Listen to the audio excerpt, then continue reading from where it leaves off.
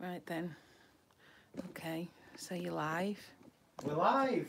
I'll just give it. A, I'll just like to give it a minute for people to just get here and Get their brews. yeah. Right, we've got 10 watching, so there we go. Right. Good evening. Thank you, Nicola, for just setting that up. Yeah, Nicola's set up the uh, my phone again because we've turned off the voiceover, so I'm not getting alerted with notifications because the microphone picks it up. Uh, so we've turned it off. So obviously it's in it's in sighted mode now, so you need to be sighted to navigate your phone. So uh, Nicola's done it. Right. So I've uh, I've got a couple of things to say. Uh, first of all, happy Easter, everybody. I hope you've had a great day despite the isolation and lockdown, and you've made the most of a, a tricky situation. So happy Easter. Uh, and also, while I think on, also, I'd just like to say, uh, my uh, well, sh- share both of our commiserations to Steve Twidell, who lost his mother the other day. Uh, so I'm not going to labour the point. But uh, yeah, obviously very sad times for Steve. Uh, and also my uncle Neville had a stroke during the week and uh, he's he's off the critical list uh, and he's got to have speech therapy and things like that. He's got underlying uh, problems. He's 81 years of age. Uh, he's got he's had deep vein thrombosis and he's got a cardiac condition uh, and he's just had a, a bleed on his brain. It was quite significant, so it was touch and go. Uh, but he's made a remarkable recovery. So uh, the the downside is my auntie June couldn't get into hospital to visit, so the doctors were phoning her up and telling her things. Uh, they did say let your family know and prepare for the worst. Uh, but luckily that didn't happen, uh, and obviously again, we can't go and visit uh, Uncle Neville. So, thinking of you, Uncle Nev and Steve. Right, so, oh, I've got an itchy nose. Does that mean anything when you've got an itchy nose? Yeah, yeah, blow it.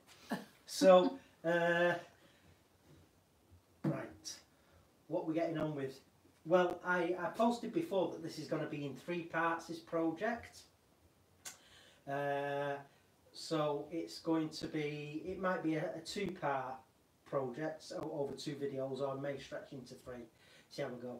Uh, but it's going to be a pedestal with a base and a cake stand on top. So, uh, and it's going to be, I've got the base and the top platform are going to be cherry and then the centre stem is going to be uh, cedar. So I, I'm going to turn the base first uh, and then uh, do some carving on it as well uh, and some flutes with a Merlin too.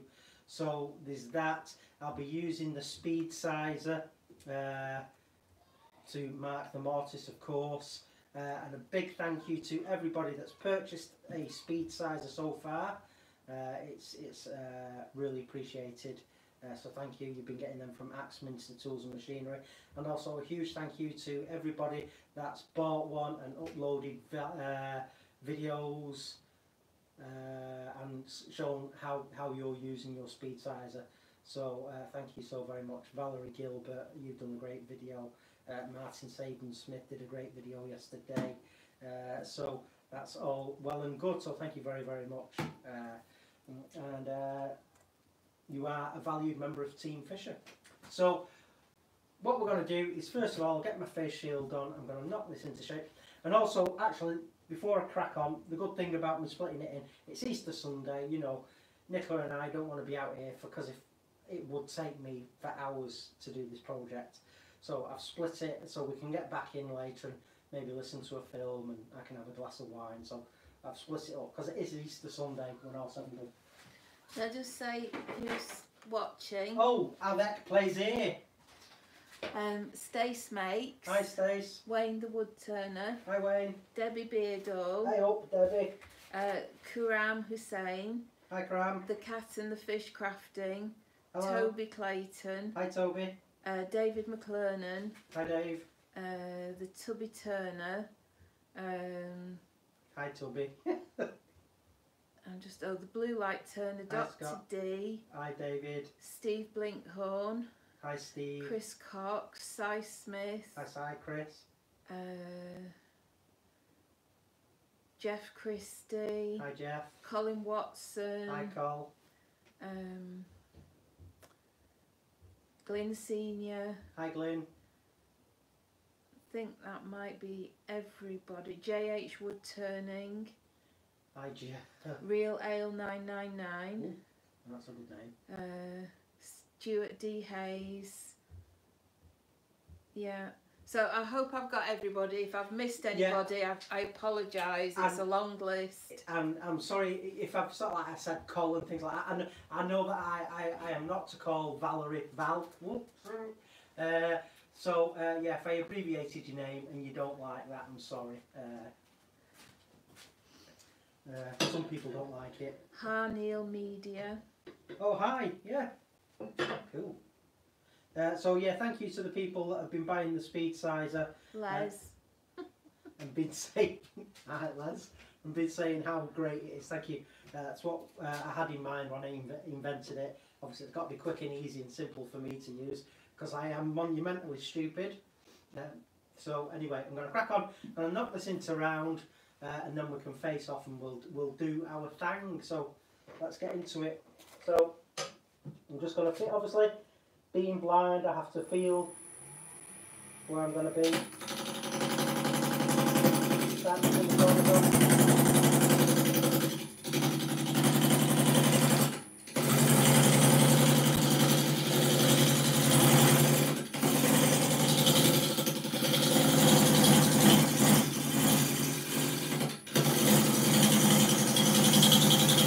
So this is a piece of cherry.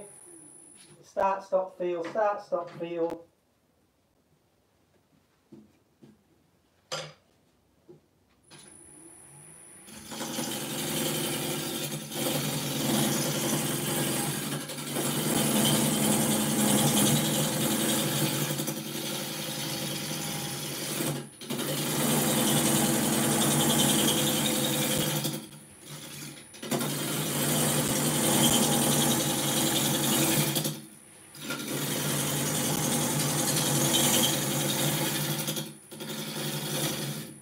Second guitar.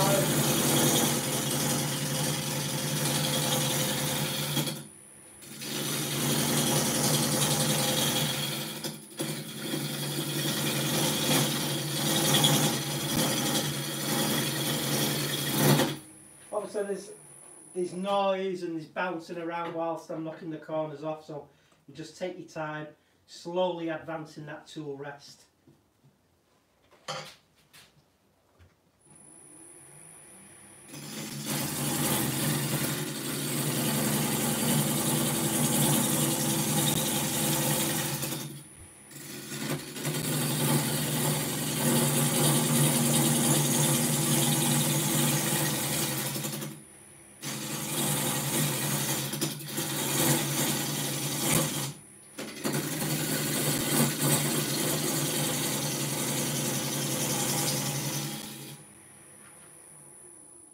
have a feel.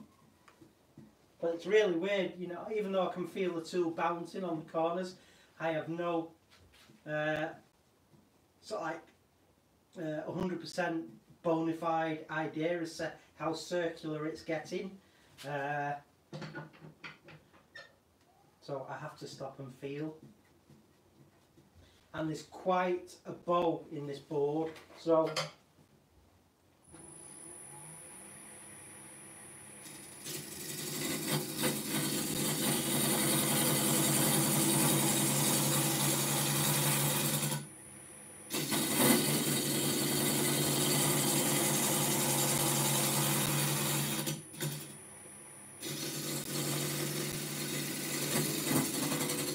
As I get to that corner there, I can feel the, the shape and the sound changes. So we all know how important the sound is for me. So as I get to this end, the sound changes for me.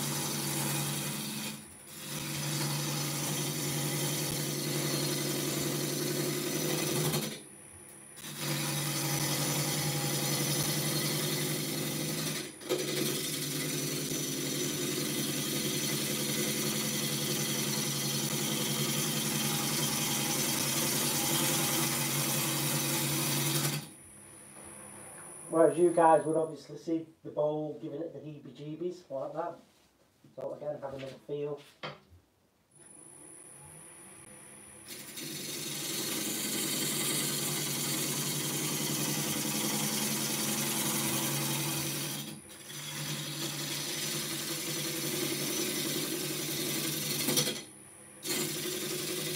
So obviously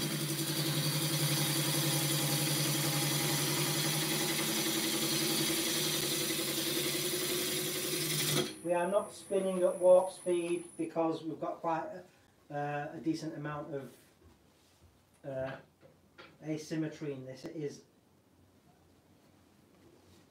not true yet, so just taking our time.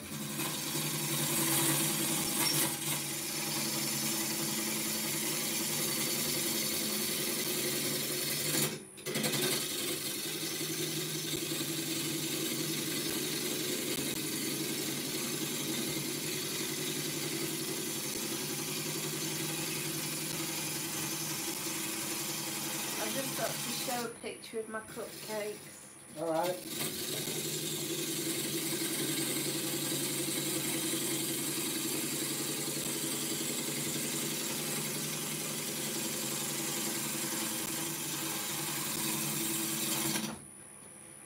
Yeah, so Nicola's been doing some Easter baking and uh, she's delivered some to our neighbours.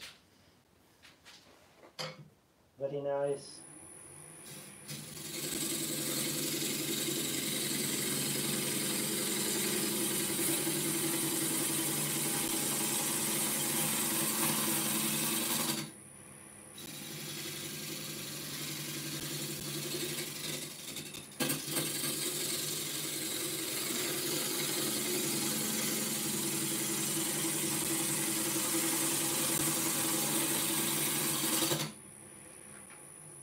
So I am listening intently whilst all this is going on. Just a little bit of a a flat spot there, but nearly there.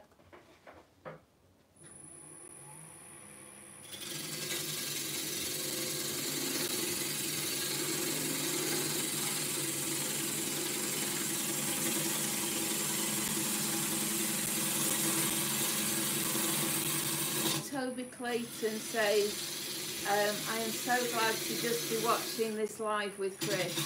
I was at the shop fixing my lathe and made it just in time. Uh, Chris, you are an inspiration to all wood turners and all woodworkers. Thank you, Toby. We appreciate it. Well, Toby got in touch asking when our next live was. I remember your uh, your question, Toby. So glad you got the uh, the response. So that's feeling round. So very good. So what I'm going to do now is just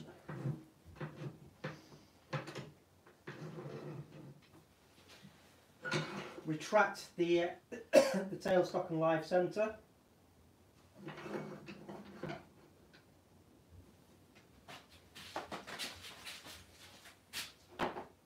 Get my gouge. So drop it a bit more. So I'm just gonna true this face up.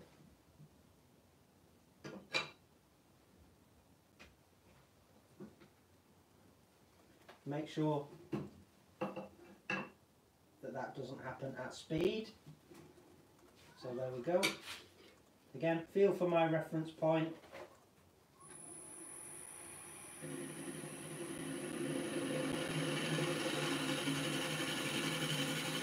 there's the bounce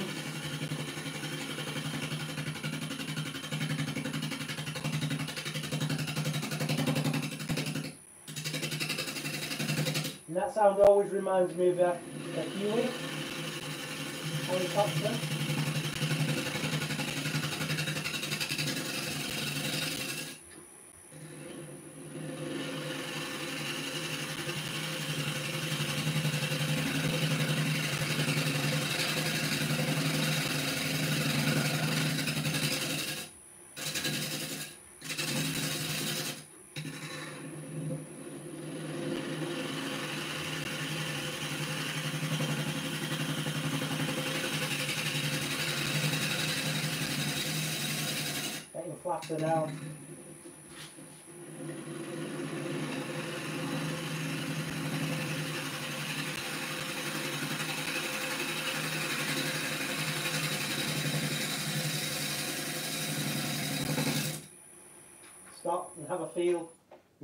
To reach in. Feel for that centre point.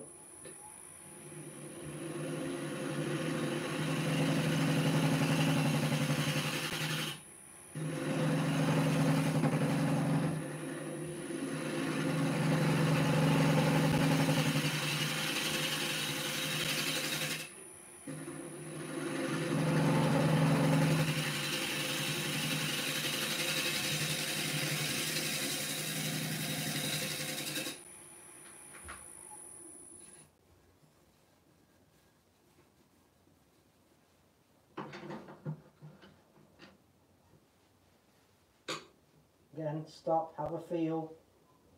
I'm going to turn the speed up a little bit now.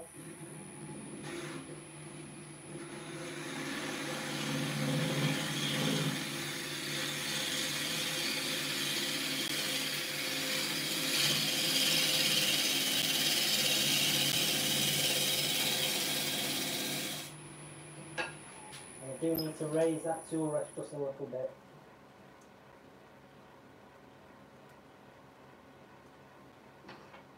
Easy one you can see.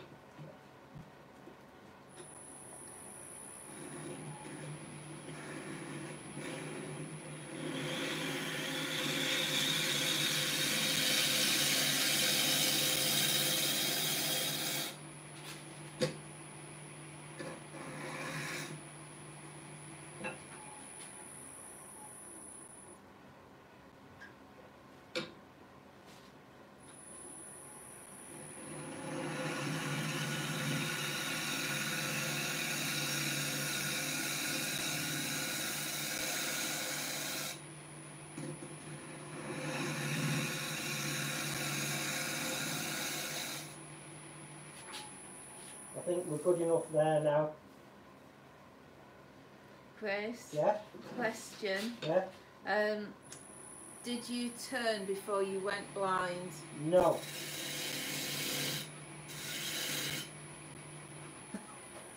No, I didn't. I took it up after going blind because I wanted a vampire stake, which is over there. I've kept it. So I took up wood turning because I love horror films and Halloween. To make that, I took up wood turning to make that. And I listened to YouTube for 600 hours and got all the mental imagery I needed. Bought a lathe and taught myself just by touch. Uh, so, there you go. Um, can you tell Toby what your favourite tool is, please? My favourite tool.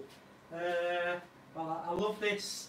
I love this bowl gouge with a, uh, a fingernail, really quite a severe fingernail grind on it. Uh, obviously, all my custom made tools, my carbide tools, I love. Uh, I love them all. I know it's a, a cliche, but yeah, and and I love my uh, my spindle gouges as well. I like them. I, I really do love them all uh, because I feel so uh, lucky to be able to be doing what I'm doing. Really, so.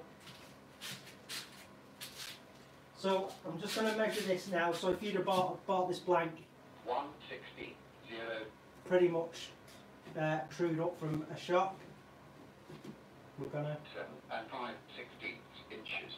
7 and 5 sixteenths across, 1 and 13 sixteenths inches. 1 and 13 sixteenths thick. Minus 160, 0, So that'll turn off in a second. So now we've got that, we can use in 5 seconds. uh, this, this, this little fellow that I invented uh, and it was developed and brought into production, uh, production by Axminster Tools and Machinery. So uh, it's going to be this hole over here. Uh, I've got C jaws on. So basically you just find your centre hold it in place and now it's not clamped tight because it, you need that just to be able to free spin. So I can locate that with that little label. It's got a, a voice message on, but also uh, that that label makes it just tactile as well. So I'm just going to put a score line on there.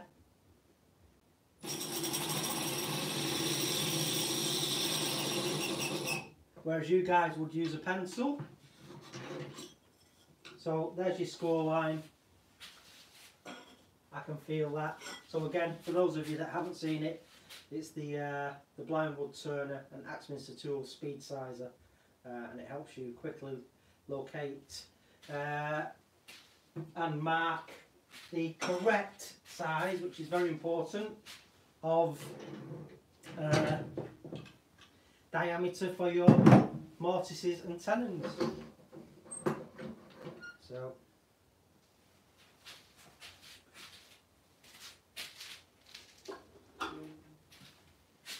I'm going to get my parting tool now.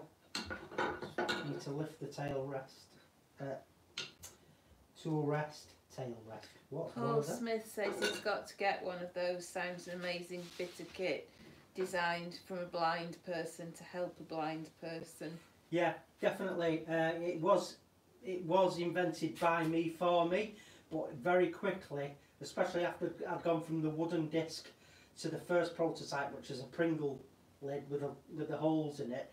I quickly knew that this would be a great idea for everybody, and that's when I got in touch with our friends at Axminster and said, uh, "Got this great idea, guys," and they went, "Yeah, we're loving that." Uh, so that was the start of the, the story, really.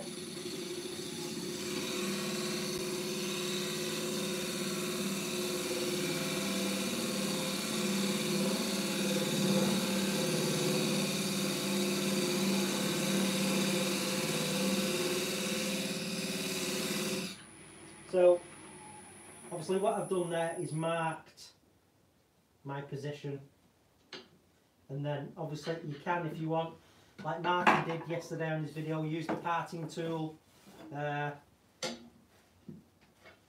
go all the way across, but I'll use my square carbide cutter. They say necessity is the uh, mother of invention. So, you know, I had a need uh, and invented something. So,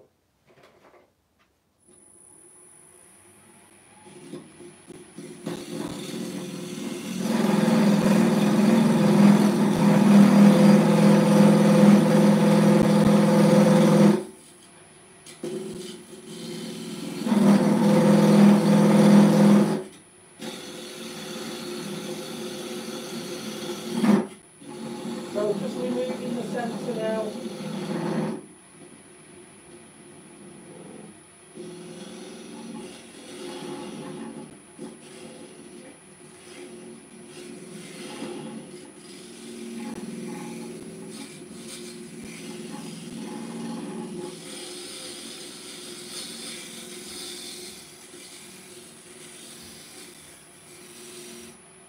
So again, you know, you can I'll probably make that a little bit deeper.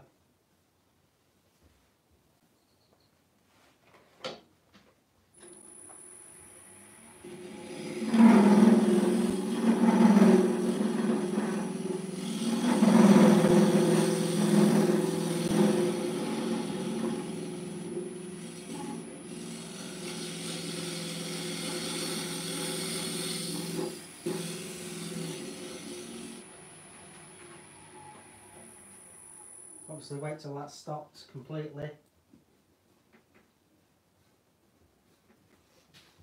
Wonderful. Now obviously this is going to be the base of the bottom of the pedestal.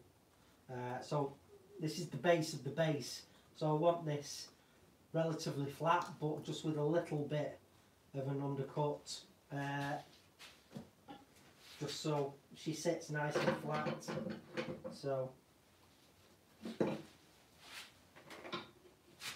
again. Let's just feel.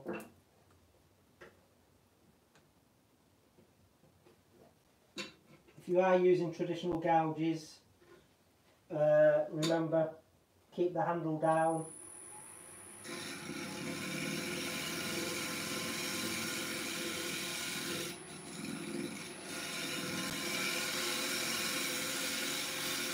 So it's just a very, very light cut here.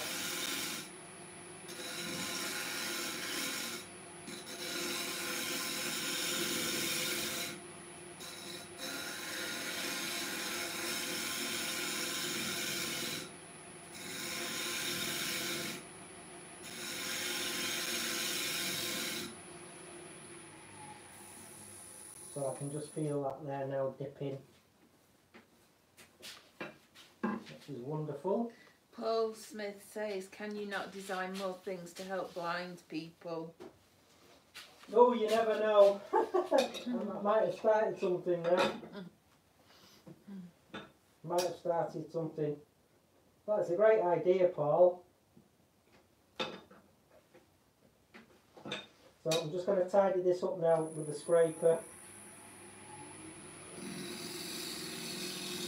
It's a very, very gentle cut. Scrape even.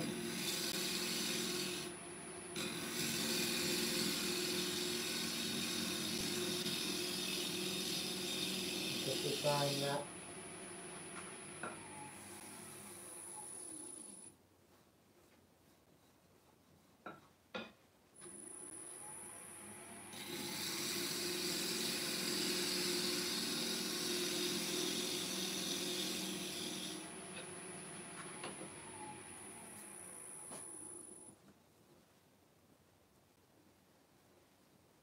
Good. Prickly says he recently made himself a rod tool rest like yours. Makes turning so much easier. Yeah. Yeah, they're good. The round bar ones. Um, Les says, Is the speed size only for Axminster or is it a universal setter? Well, it's universal.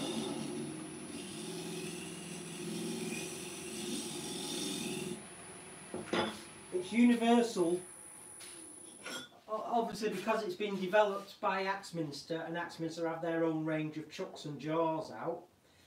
This horizontal line that looks like braille, that's all of the Axminster jaws there.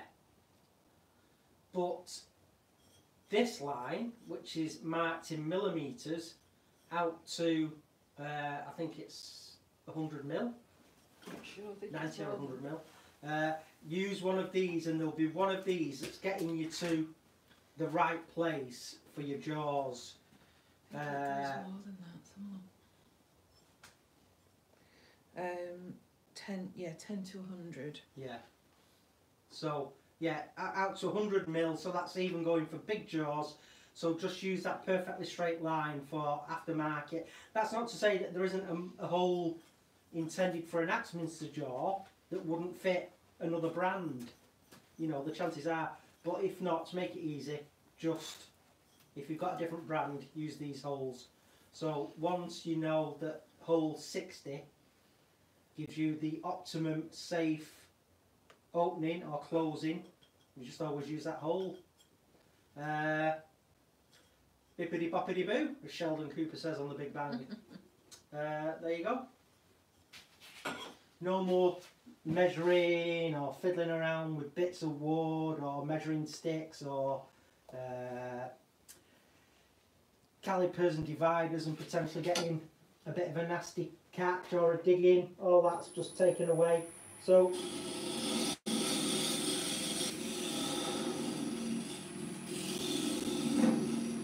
obviously I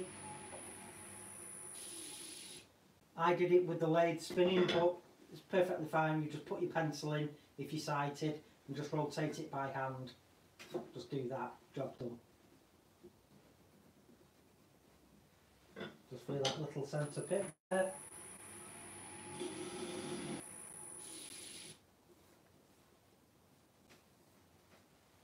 So that's great.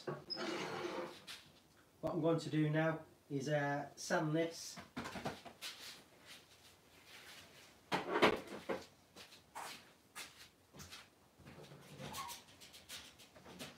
Do you know if anyone has made a moisture meter that speaks so a blind person could use it? Not that I know of. Uh,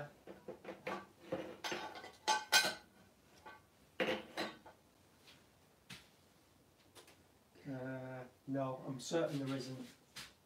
Uh, Valerie says it's absolutely brilliant. It saves me so much time. Um, Colin says his speed sizer arrived yesterday. He's identified the relevant holes for most of his jaws. Only one set that doesn't match identically. Debbie's ordered one. Hopefully it'll be here soon. Okay. But you know, it's you know if there's what not one that matches up exactly perfect, go to the especially the ones that go from ten to hundred. You know, go to the next one. You know, opening wider. Obviously, you don't want to be going, you know, uh, smaller. Go to the next one because you're only talking a few mil difference. It's the problem that arises when it becomes a safety issue, and a lot of people are guilty of it, is when the jaws, you know, between each jaw, there's, you know, a huge gap. So just having to open it a few extra millimeters, you know, isn't a game changer. I'd just go to the next hole, uh, you know, and then you've got a hole. You know, for, for most part, yeah, we want it as accurate as it can be, but uh, if you just went to the next biggest hole, that'd be cool. So I'm just getting some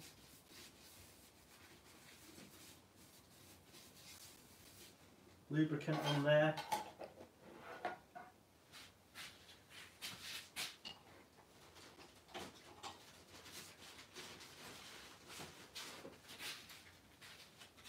Keep the speed low.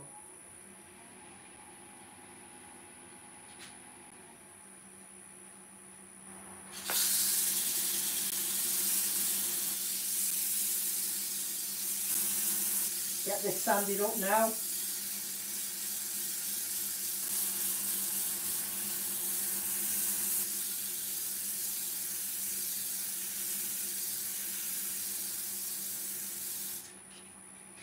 So this is gonna just help keep the dust down.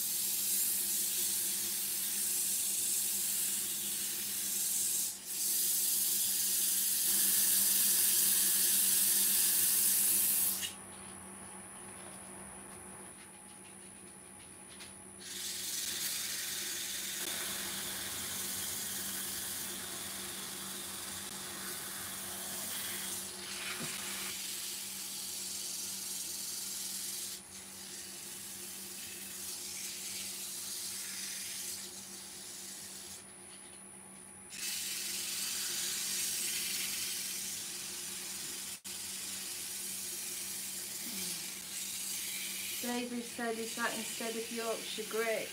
No, I'll use that as well, David.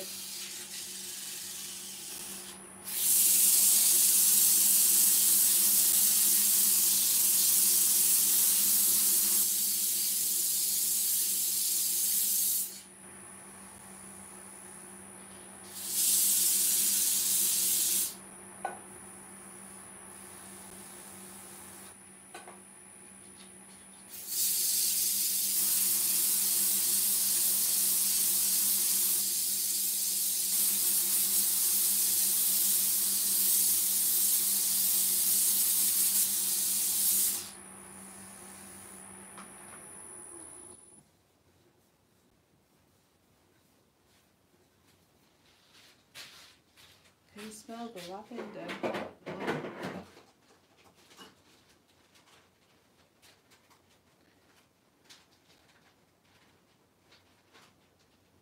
David says, what is it you're using?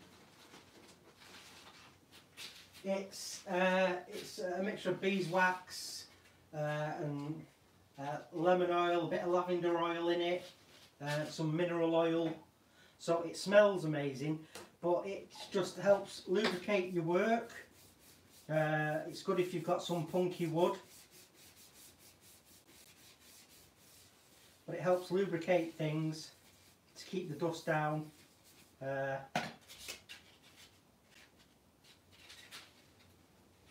it helps give a really nice finish. but you do remove it all in the sanding process, but it forms a slurry.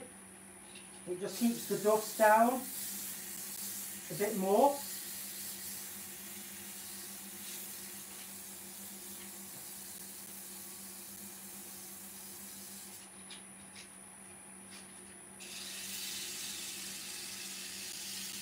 And it smells amazing.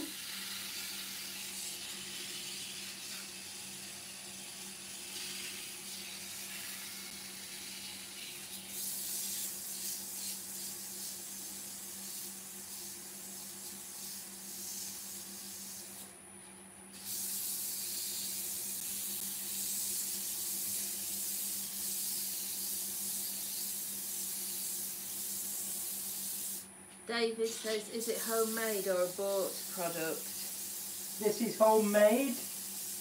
Wagga Potter made it for me. Dave Webber says, so a bit like wet sanding with water, only it smells better. Yeah. Like wet sanding indeed.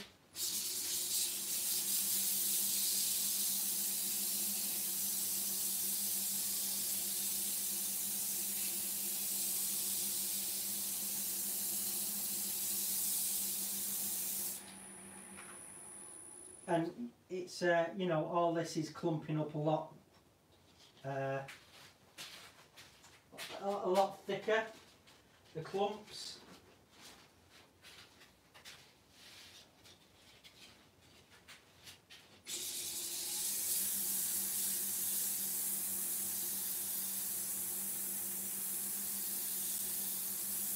And you can use it if you're power sanding as well. Just use a wire brush to clean out your pads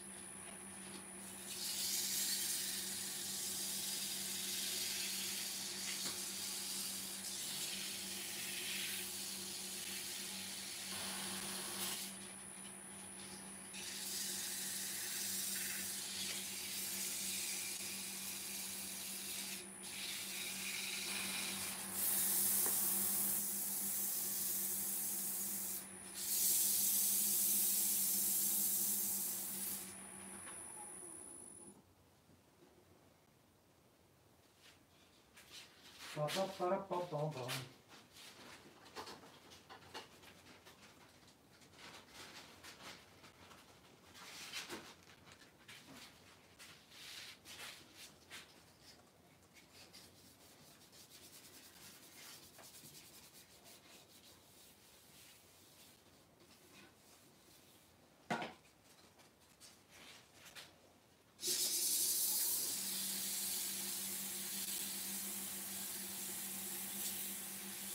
Does it not gum up the sandpaper faster than a dry sand? Yes, it does. That's the downside, but uh, at least it, it forces you to move to a fresh piece of the paper uh, more frequently, so you, you're having a very efficient cut. Uh, like I say, if you're doing using the uh, either the self-propelled bowl sanders or the uh, power sa- power sanding with a drill, you can clean it out, uh, so your disc will last longer. But uh, it really does, because if I had my dust extractor on, you know, which is loud, you wouldn't hear me. Uh, so Um, wood turning with Nathan hi Nathan, Hi Chris, how are you doing? Happy Easter. I'm all right, mate. How are you doing, pal? And how's your granddad?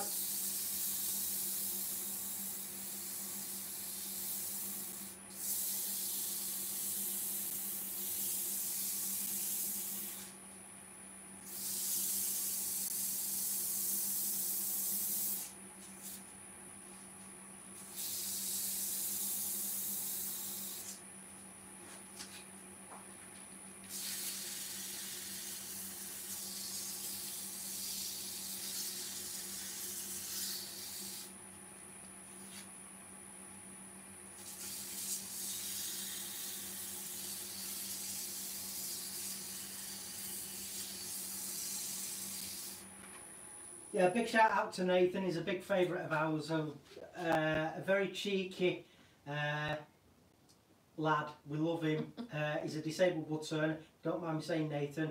Uh, he's got cerebral palsy, uh, but a cracking little wood turner. Uh, he's got a, he's got a great future ahead of him. Yeah. Nathan and his granddad just turn up out of the blue.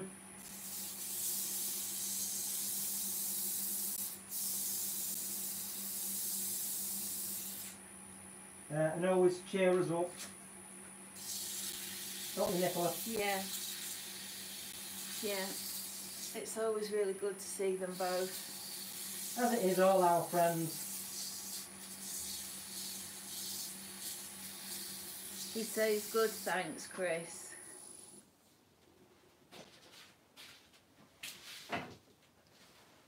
That's good. And I'm not even going to charge you for that shout out. No.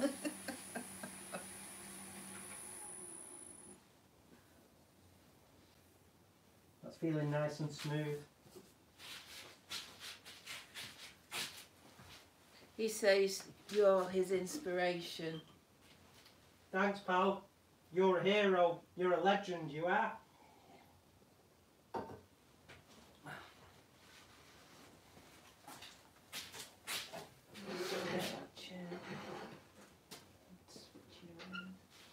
So I'm going to put my obligatory spiral in the base.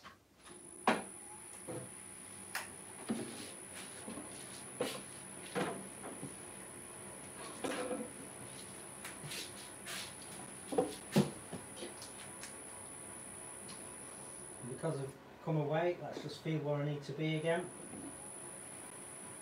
Do a bit of an angle one.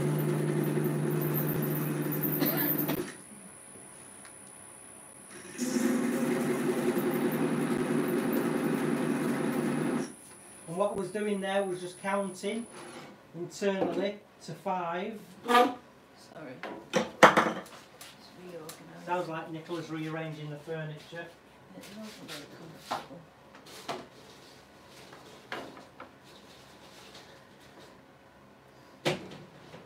Chris Nunn says hi Chris. Baz says alright everyone. Hi Chris, hi Baz.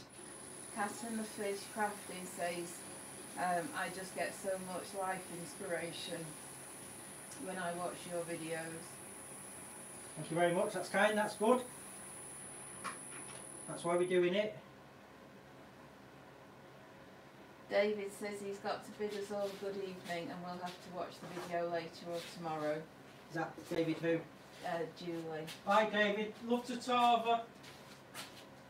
They're uh, our friends from Denmark. Jutland, Denmark. So, I'm going to get some sanding sealer action going now.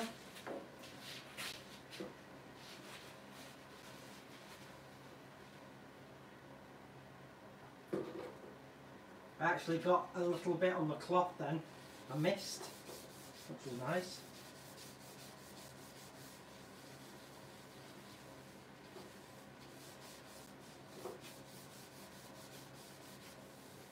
Having a blind moment.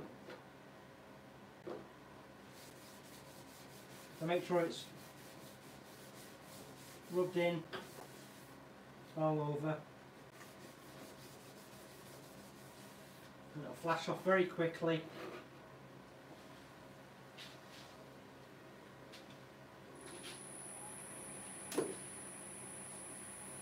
Just up the speed a bit. It's a bit of Nyweb this, or Scotch Bright, whatever you want to call it. Or a posh pan scrubber. Two coats of sanding sealer.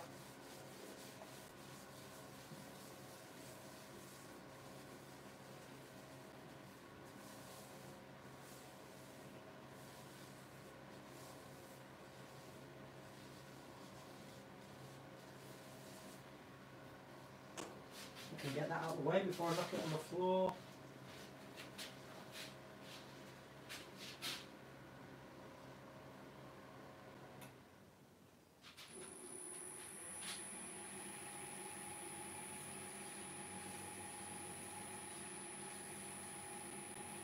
Quick denibbing and I can get my hands in there and have a feel. I know I'm not going to get injured because the tool rest is backed well out of the way. Right, I'm going to get the Yorkshire grit.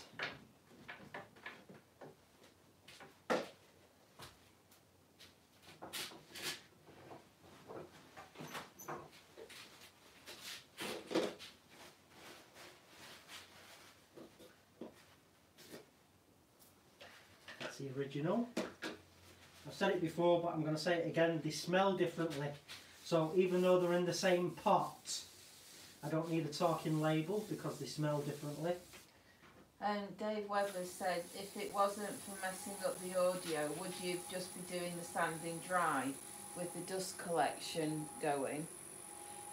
No, I'd still use it wet. I'd have, the, I'd have the dust extraction on. I'd still be using that paste wax, and I'd also have my power cap on, which is the powered uh, face shield with the built-in respirator. So I'd be doing all of that. But again, you know, when I'm demonstrating, you can't do, you know, all of the fancy dust extraction stuff because the people in the audience can't hear you.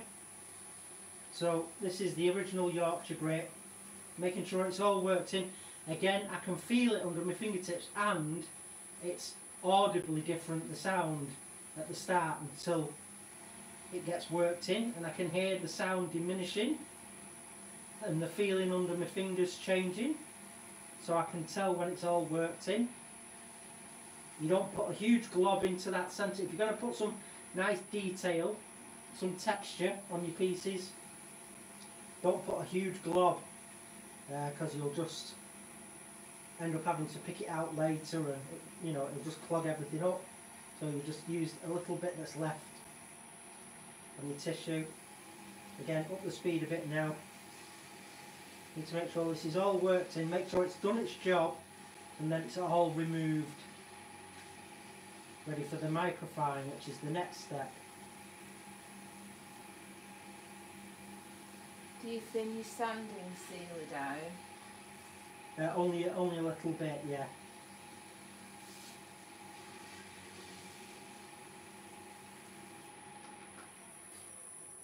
So that's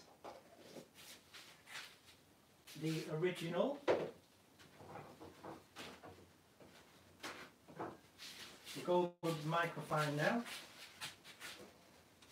So this has got sort of like a, a runny, a thinner consistency, so you don't need as much.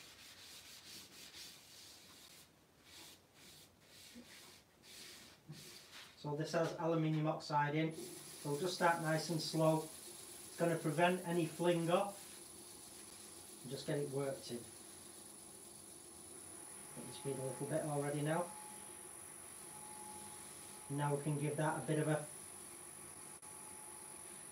a kiss on the inside.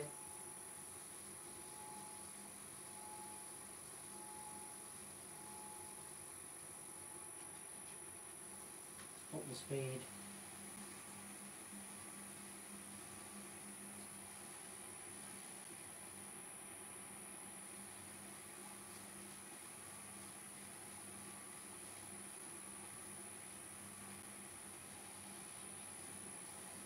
The speed again now, and move to a clean part of tissue. Clean part of the tissue.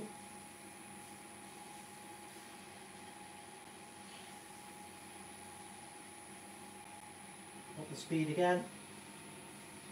I'm supporting the right hand here, just stop it getting flung around.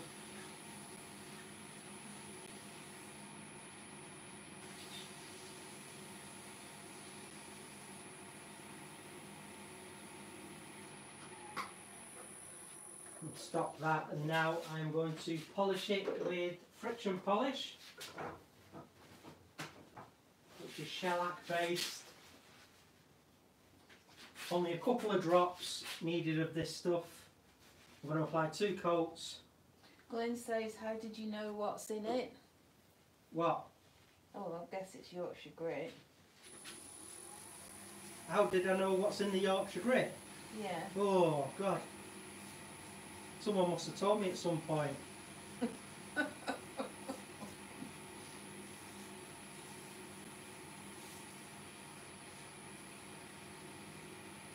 So just a couple of drops of friction polish and light pressure.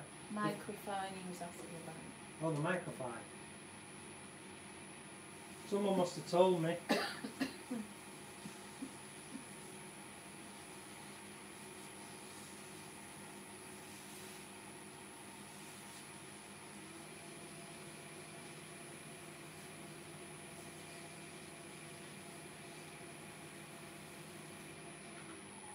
that should do.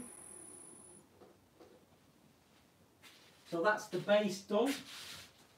Very simple.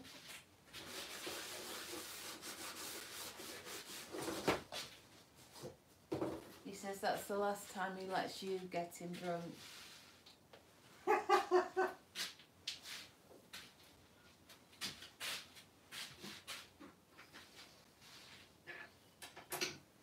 I'm sure it was him that told me. No one else would have told me. Maybe it's top secret. Well, they shouldn't have bloody told me then. I did ask him something once and he went, can't tell you. When he was here, actually, when Sophie was here. oh right. And he said, oh, can't tell you. But it wasn't like what's... I knew there was aluminium oxide in it, but I was sort of like fishing for what else is in it. It's like, yeah, tell me. I'm not going to start making it myself. But wouldn't. He's a tricky little camper. Oh, he says it used to be lol. Oh, it used to be. Yeah, maybe Alright. it's not anymore.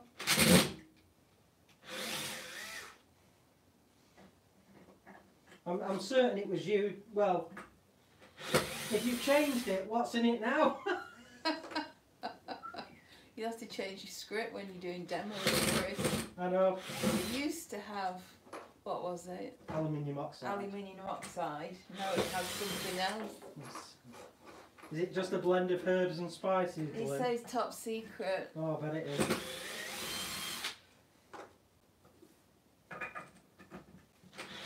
Top secret or not, I've nearly run out. That's subtle. Yeah, nearly run out.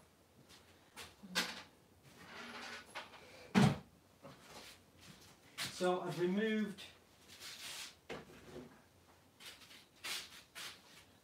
uh, the face plate.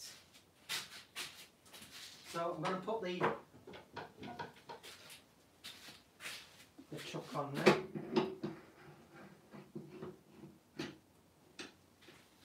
he said it's in the post. Cheers, cheers, pal. Mr. Tact, he's called you. Mr. Tact.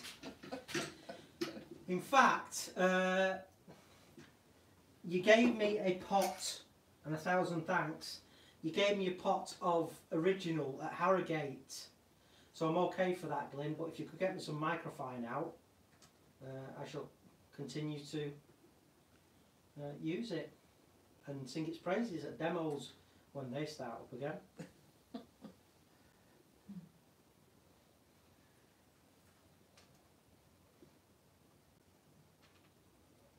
So I'm just locking the little uh, set screws there. Just get this locked down onto the spindle so it's nice and safe for me. So I'm just cleaning inside of the jaws.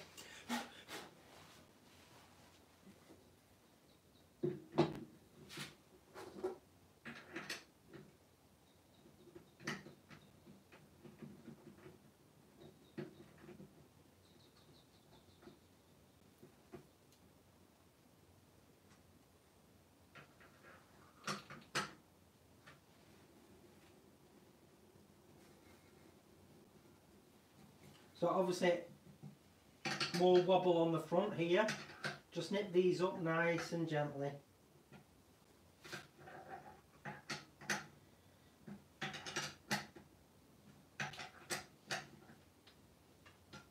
Don't want to over tighten them.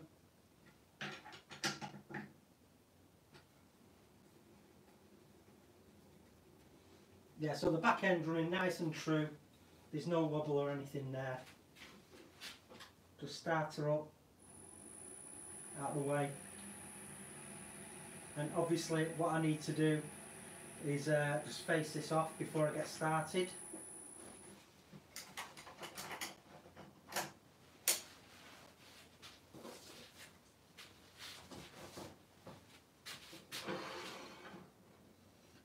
For which I will be putting my face shield back on.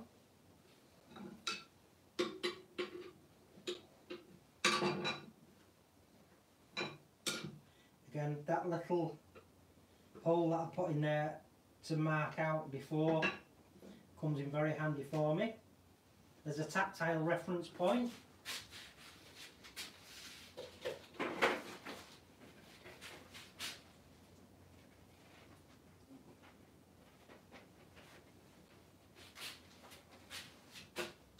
So again, feel for where I need to be.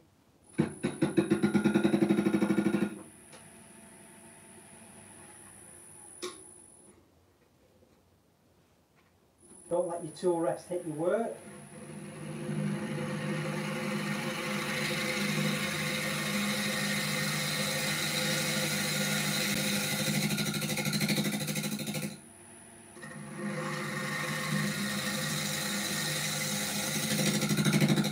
You can hear that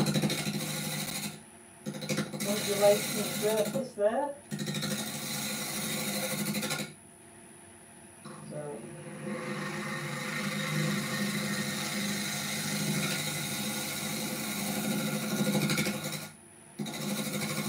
just knit that around.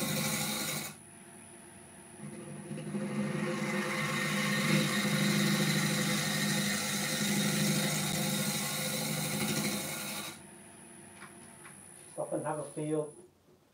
A little bit of a knock going on, so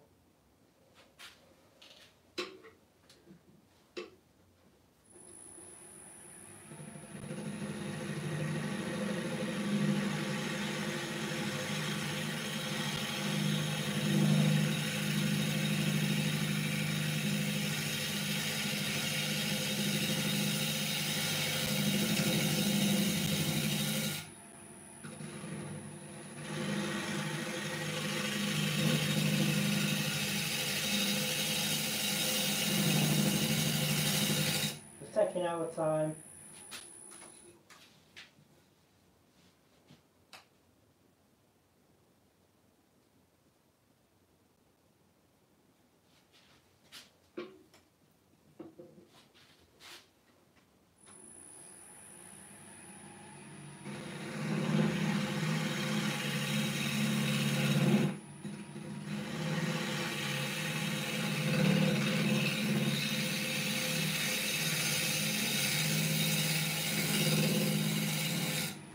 Right. That'll do. So what I need to do is just come in where feel where the screw hole is. Just let that tool rest up a little bit.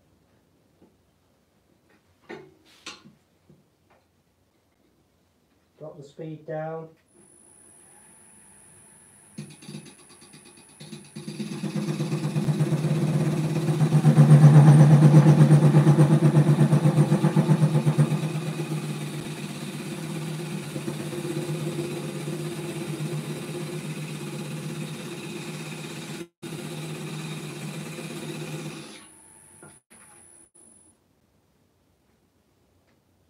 That's cool.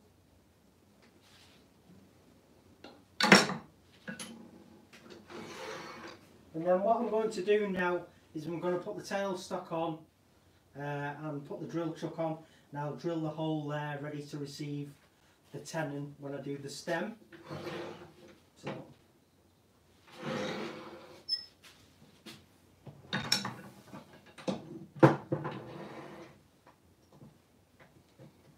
remove this live centre.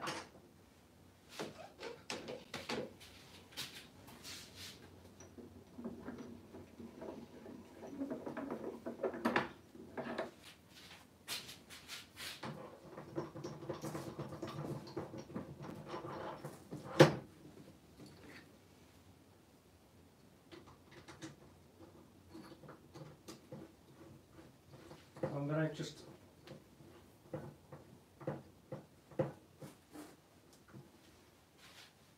get a, a drill bit, What wood is it, Chris? cherry, cherry oh baby.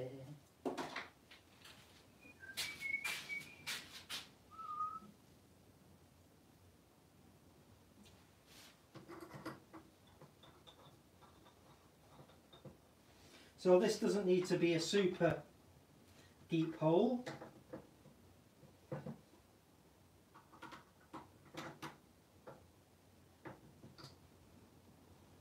Probably the depth of the head. Twice the depth of the head. Oh.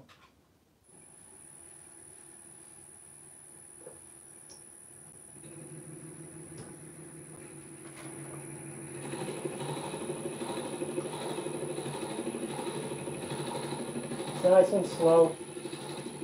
And I just keep my hand over the over the chuck and the quill, just in case it wants to try and spin free.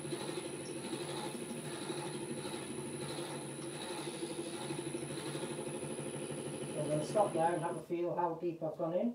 Right, so the head is just about to disappear, so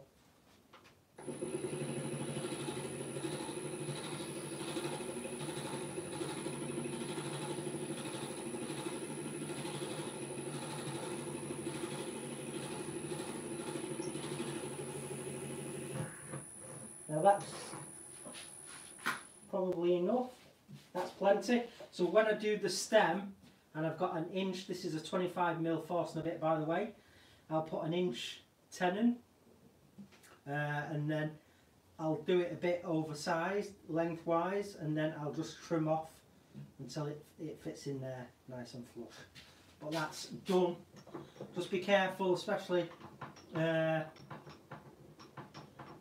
if you're new to wood turning, that's going to be incredibly hot now.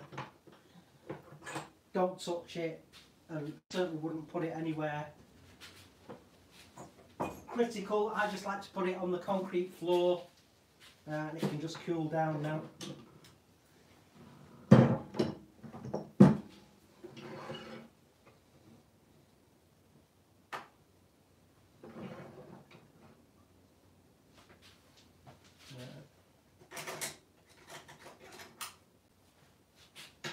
What time are we on, Nicola, please? Um, Just check the integrity of the half past eight. half past eight. Okay. That feels fine, nice and tight.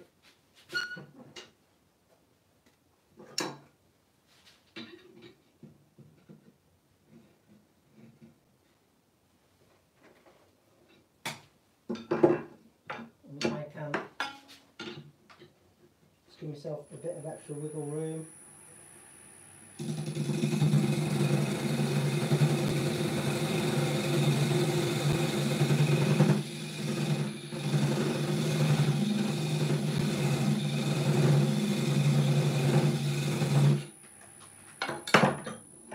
Just like to give myself a bit of extra room when I can. Drop that down a bit.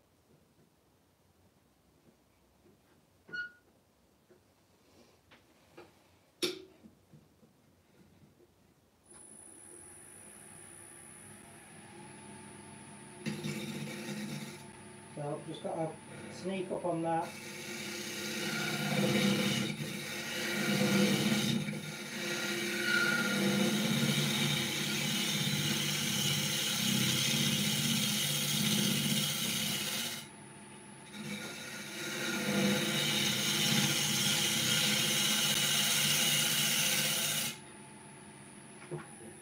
So I'm, I'm constantly doing things to feel what's going on. What I'll do is I'll just nip this corner off here now. Get that face shield a bit further down.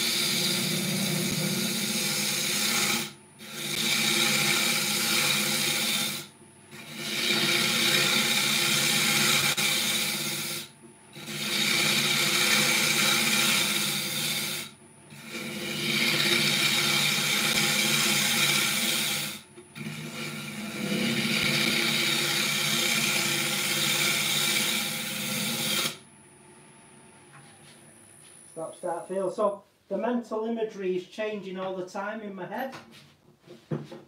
Uh, so I'm getting an idea now as to what sort of shape I want this to be.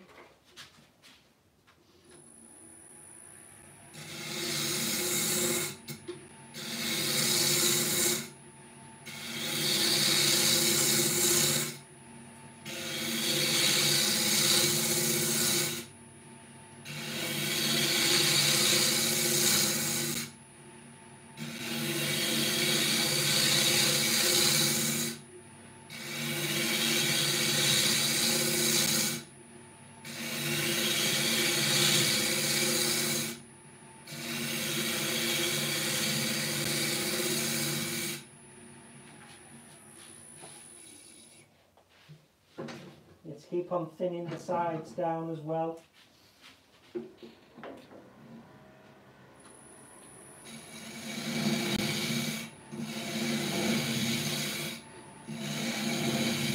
obviously where the screw holes were,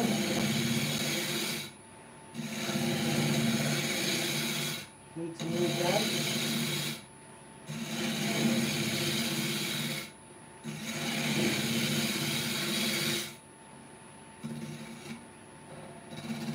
Move them out there.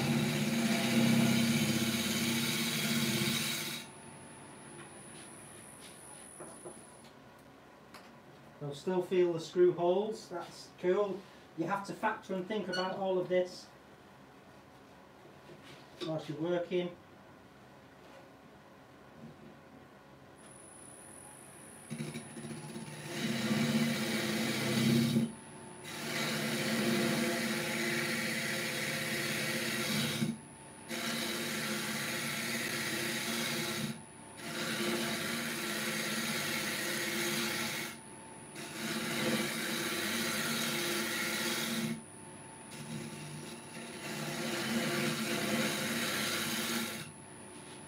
So I'm just, I'm- I'm basically shaping at the minute. Not doing any fine finesse cuts or shear cuts. I'm just shaping. That's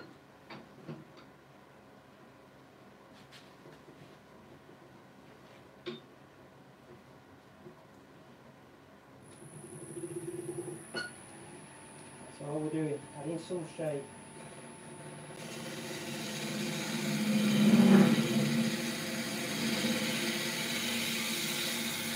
So you can hear the vibration and that's from the screw holes. And I can feel the vibration from the screw holes.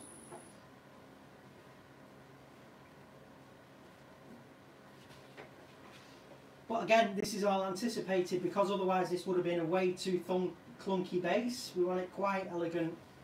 Uh, so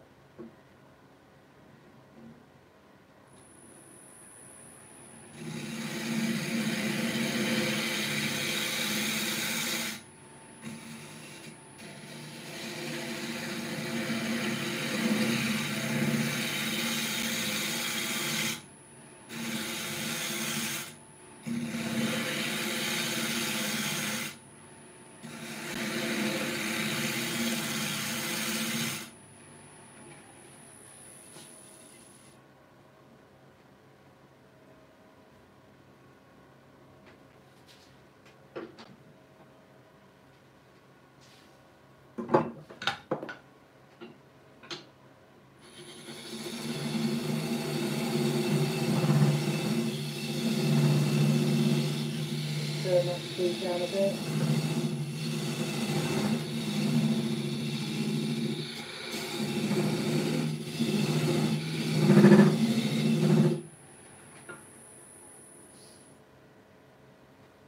Do you have a finished version of the cake stand to show? Do I have a finished version of?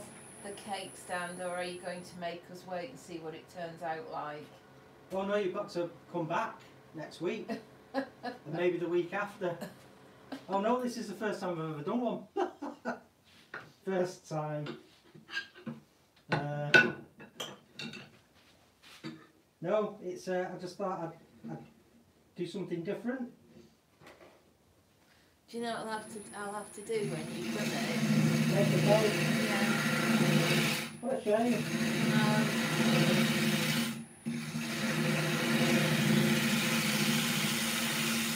That's a travesty. You're having to make some cake. yeah.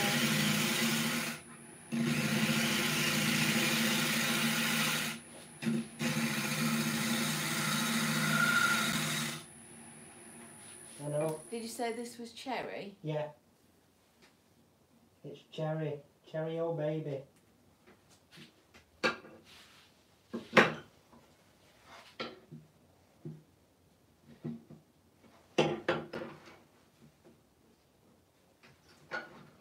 Toby says, Chris, do a live show every day, please. Okay, mate. Just for you.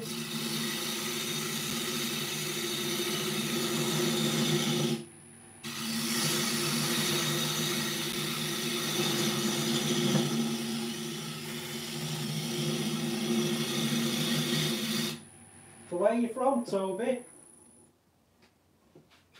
That'd ask.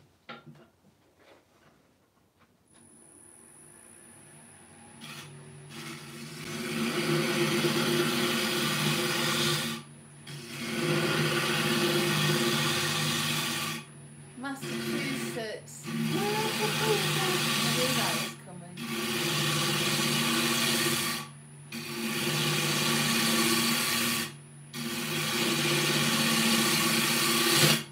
So,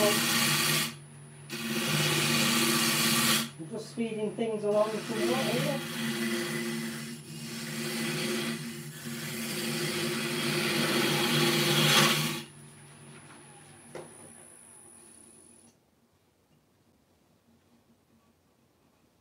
Now, Is it a hard or soft wood? Has it got a crack? yeah, Hmm. that's where the noise and the vibration's been coming from.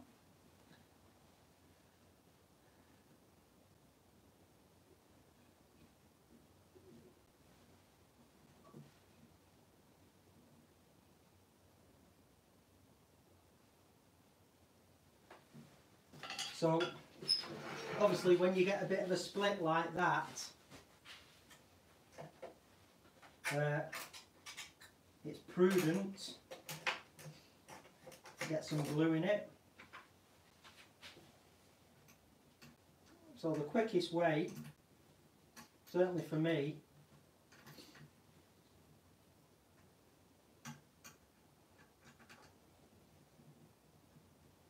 is to just to remove the chuck from the spindle. And I can just put the whole kit and caboodle back on. Cherry, it'll be a hardwood, won't it? Cherry's a hardwood, yeah. So there's, I don't know if it's picking it up. I think the camera's here, but there's a split.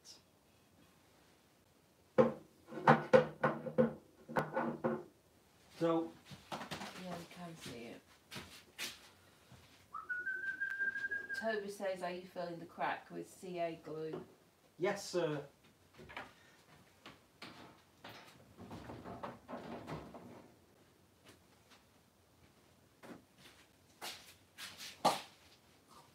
So I have to feel for the crack now. Just throw the activator all over the place. So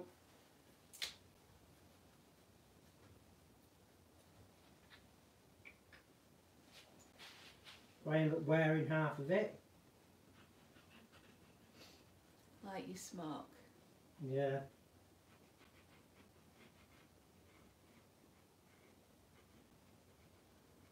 I can feel the crack there running along.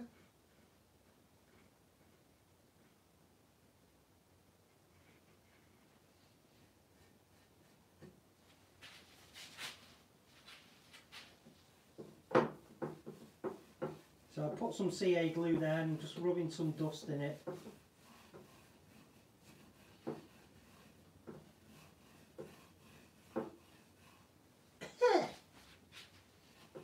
Takes your breath away. Well, the smell of the glue. Yeah, it's quite pungent once it gets going. once it starts going through that exothermic reaction.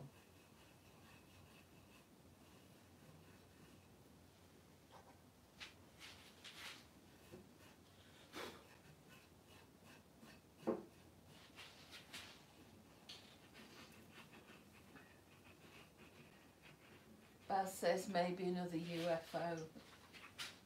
Yeah. Um, Eva says, is there glue that's suitable for food safe things? Uh, I'm guessing CA glue would be food safe because once it's set up and cured, it's really just becomes plastic acrylic, really. So I'm guessing it'd be food safe, but uh, it wouldn't it wouldn't ever hold up to uh, you know washing immersion. You know, it'd just be a damp cloth and things like that.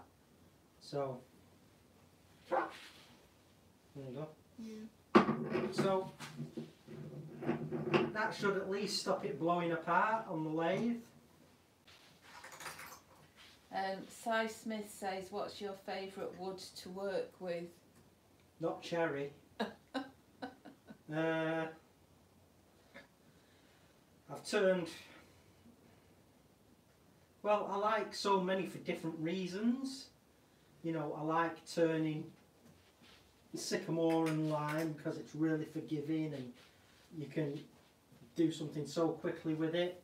Uh, and sycamore and lime uh, are, are great for power carving and things. I like ash and oak because they can be tough and put up a fight, so that can be pretty cool. Uh, Wayne says PVA glue is used on chopping boards.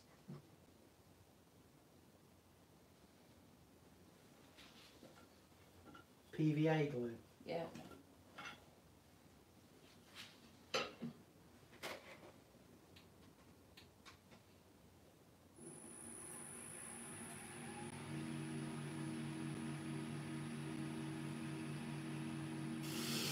They just go nice and light with minute. Hear that sound then, is it?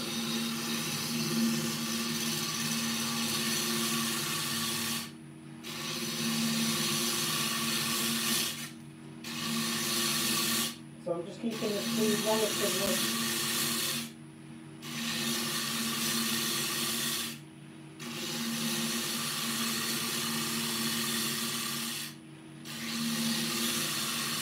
Ted says he thinks the crack's showing on the edge. the cracks what? Showing on the edge, Les says.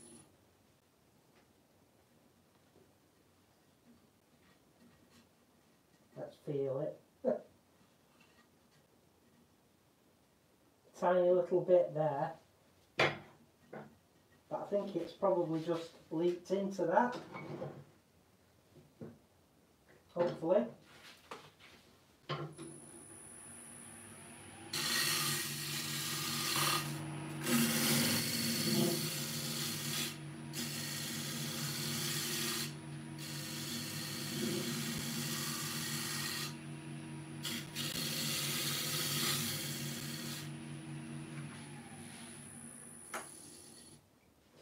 Doing there was I'm just kissing the outer rim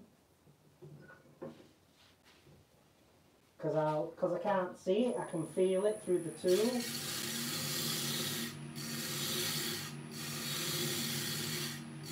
So it's a good gauge of stability for me.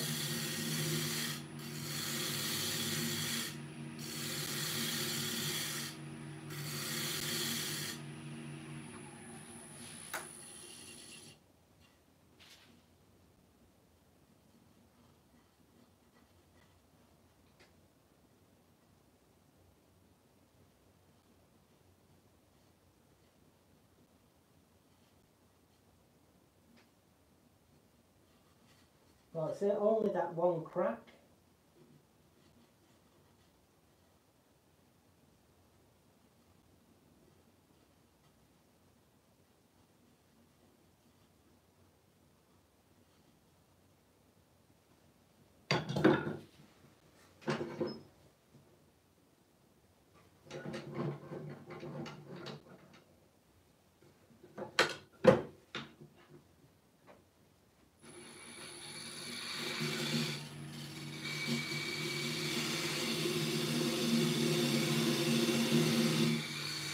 Squaring this side up now.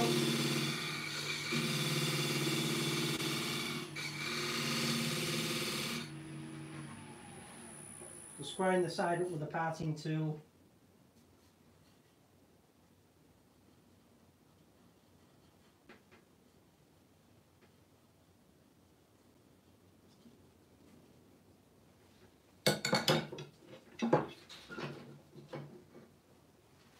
It's getting windy, definitely getting windy. Yeah, I think it's going to rain.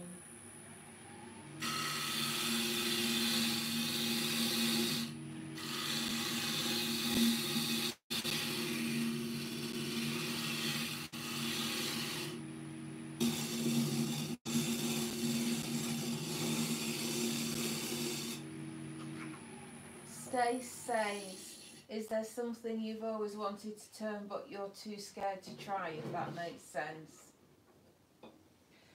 Uh, I'm not scared of anything, uh, but you know, uh, deep hollowing, you know, uh, is something that I, you know is probably inherently dangerous. But I want to do a, a masterclass with Phil Irons uh, and use the uh, Pro-Forme hollowing system. Uh, so I'm not scared of it.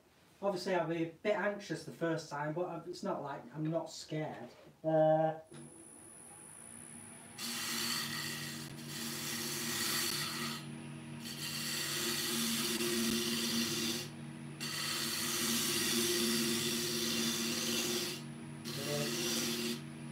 I'm from Salford, Stacey, scared of nouts. uh, so, Itinerary. Um, do you also use your nose, smelling how deep far you are? I use everything. Uh, yeah, I, I'm, I'm smelling, I'm feeling, I'm listening, I'm sensing. Uh,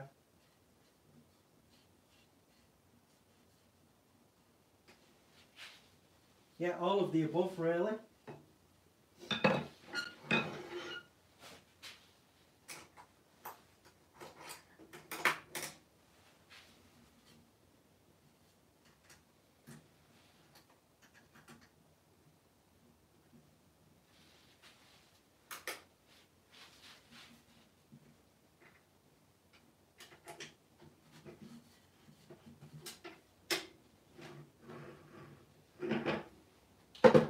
So I'm going to get a bit more CA in that and then I'm going to give it a, a, a rudimentary sanding uh, because I am going to power carve it.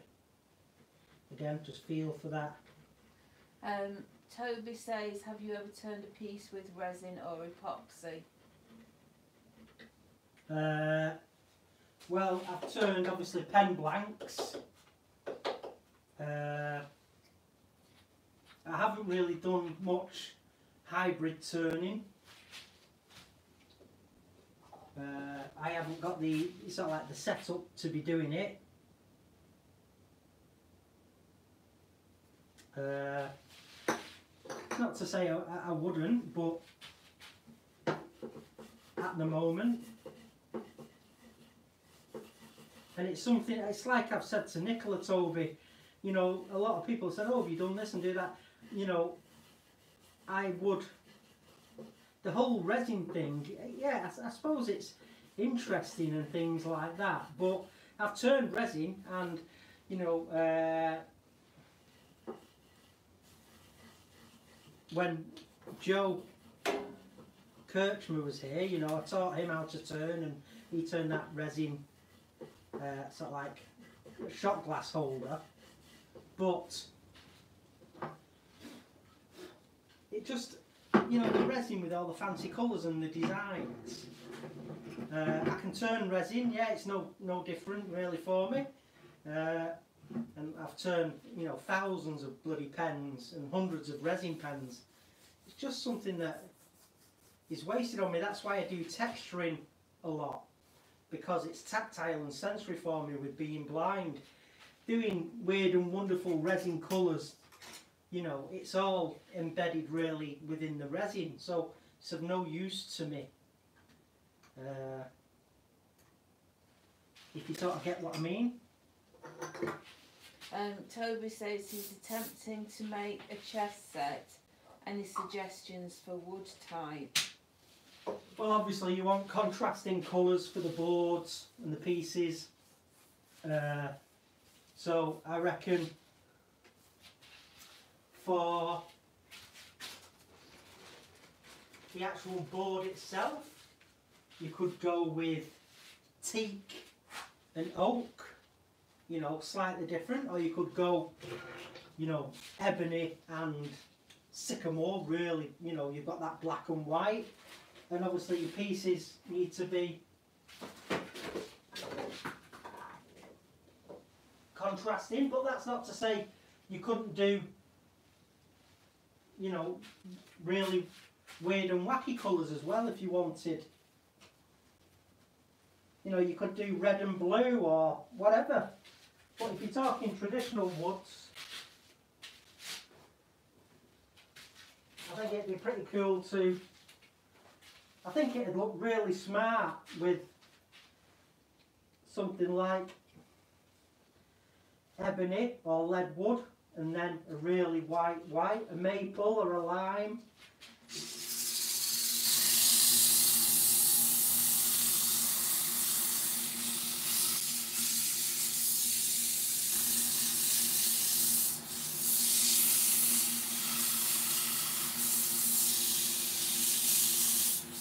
time is it, Nicola, please? Five to nine.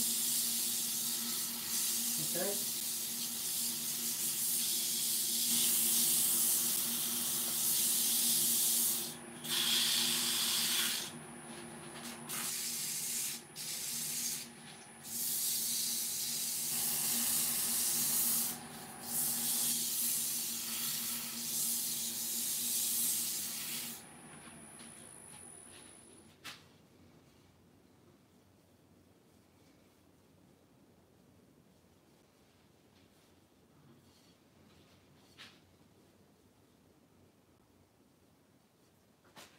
Right.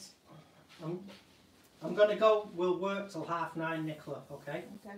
Then we'll stop and we can go and have a drink and watch a bit of telly. So I'm going to start power carving.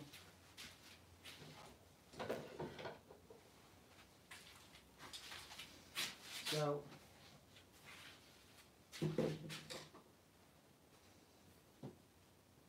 So obviously we've got a nice a nice shaped base there and we've got the little post which will have the I've unplugged the lathe. I've locked the spindle. I'm going to put the power cap on Um, Axminster demo was a resin bowl with wood. Mr. Colwyn, he gave you a shout out on the sizer. alright Si says he's already had a drink. Good. Well done, Simon. Happy Easter. right, so, hold on. Obviously, this lathe has an indexing system. Uh, no good to me, although I can tell by feel. You know, it's obviously it's locked in there, and then there's the second one, and there's the third one, all the way around 24 times. But what I'm going to do now is just again, so it's sort of like a bit a bit organic. Uh, I'm going to start as best I can at the 12 o'clock position. And then I'll move it round just by touch to quarter past and then half past, then quarter to or north, east, south, west, and then bisect them. So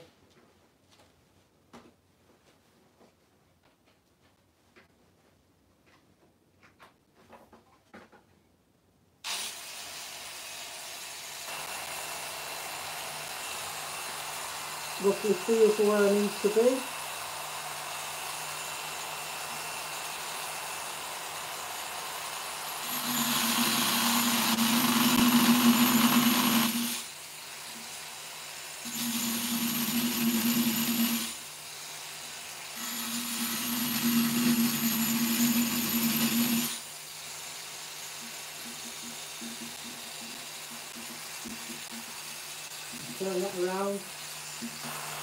Approximately the quarter past position.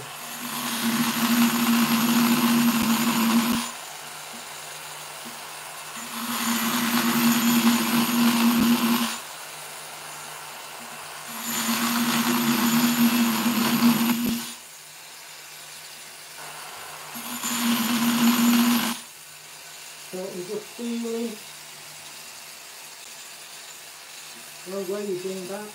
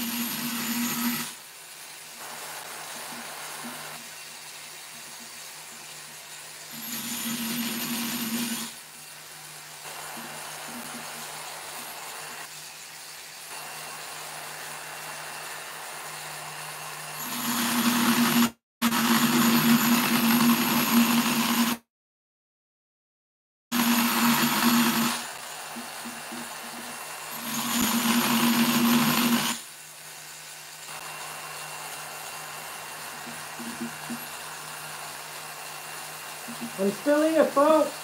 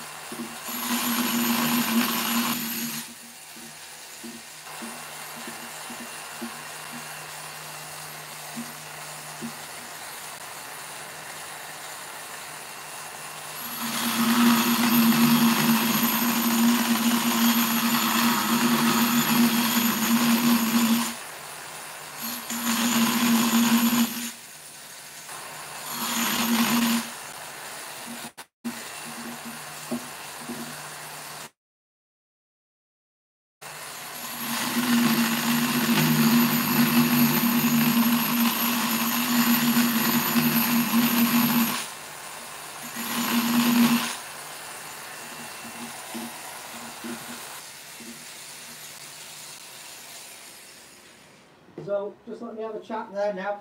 So you can see how I'm doing it, and now what I need to do is bisect these as well again. So that's what- you know by moving around gradually, points of the compass, and having a feel, and I'm listening.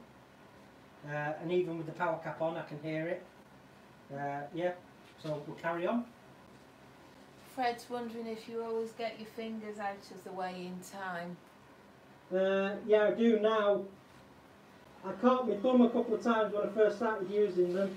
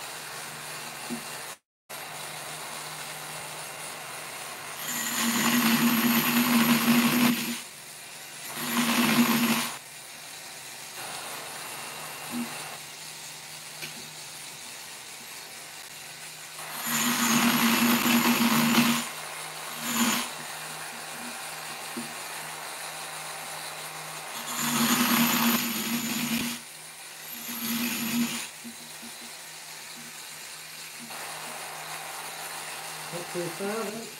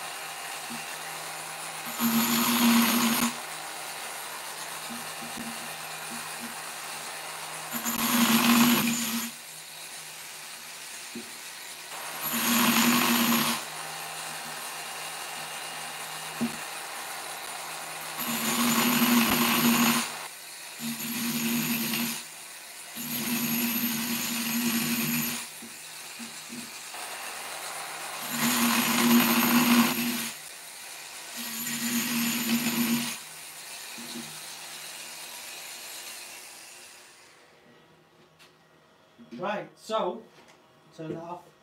I'm sorry for not. I'm sorry for not speaking, but I was just concentrating there. So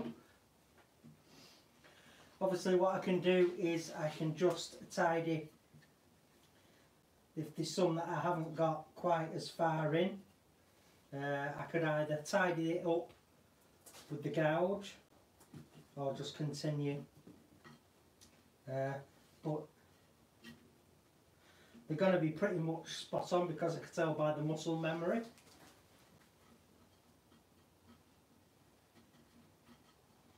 I just feel that crack still there.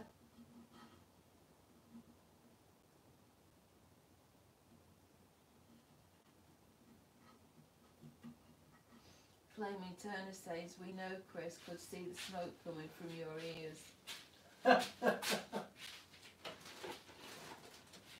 Yeah, was it much show concentration there, having to go round uh, and feel and feel. Remember not to keep your fingers there and then go in and you know burn yourself. So feel, feel, get my position, move the hands out, and then do the cut.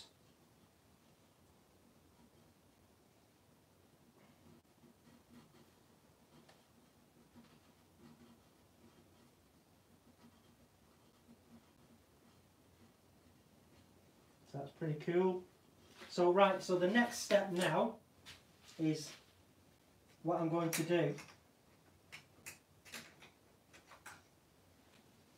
is just remove this again and that the uh, the vibration from the Merlin has just either opened up that split a little bit more or because I've plunged in I've actually gone deeper than the glue had penetrated so it's just it's not opened it up again it always was there and I've just got deeper into the the, the crack the fissure. Not like me F-I-double-S as in a geological fissure. So so obviously you know this is the sort of look that we're going for. So and I like putting the truck in there because it angles it towards me so it's not going to well it's going to hopefully prevent the glue. Uh,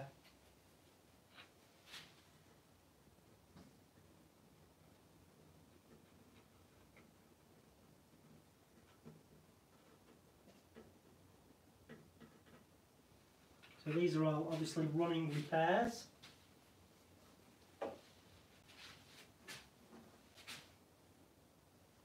We've got some fine dust there left over from the Merlin.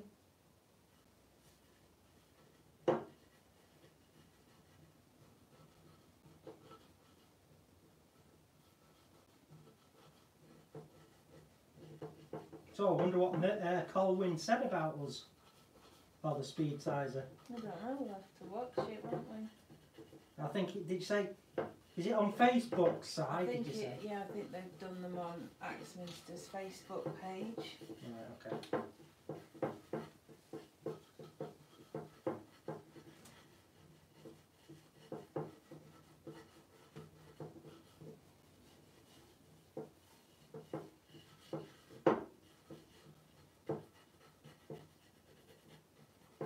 So just got some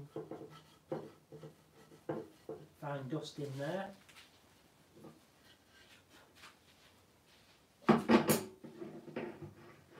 So remember, hold your work and spin your hand wheel. And then it'll prevent you from chucking it on the floor. So what I need to do now is get the 3M Roloc abrasive bristle brush on and we can tidy this up. Get rid of the harsh edges and then uh, what I'm going to do is I, you know, we need to just hand sand possibly a little bit in the actual flutes and then I can even do the engraving uh, on these that I like that that that uh, technique. So, I, what do you guys think? I just do not do any of the percussive engraving, or do you want me to do that during the week and then when you come back next Sunday, uh, this piece will be finished and engraved, uh, and then we can crack on with doing the centre stem. Uh, or just you want to see me do some percussive engraving? Uh, entirely up to you. What do you want me to do? Do you want to come next week and it's been uh, stippled?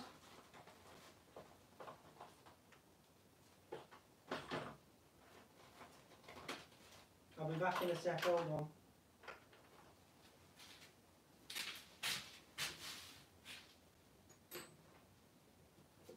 Is there anybody there? I'm just having a look, there's sort of been um, quite a few comments. Uh,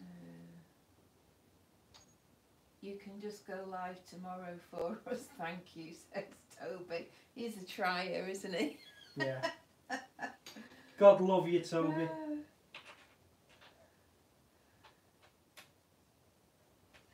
Uh, Beard times 16 is only doing Tuesday night live. Oh, right, okay.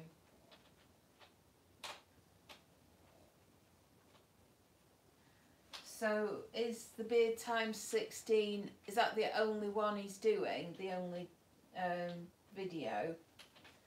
I'm having a proper blind moment here. Uh, A blind moment of epic propos. Oh, I've sorted it now. Flipping heck. That was monumentally rubbish.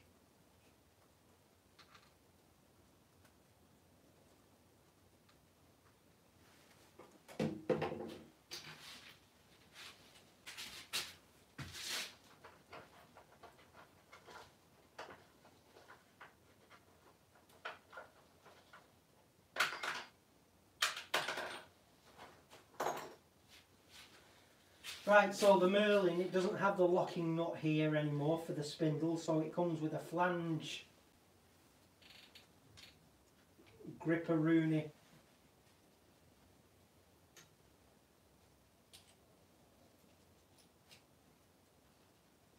So it just holds the uh, the spindle in place. So it's got a 3M Roloc, abrasive bristle, double overhead cam 16 valve uh, bristle brush.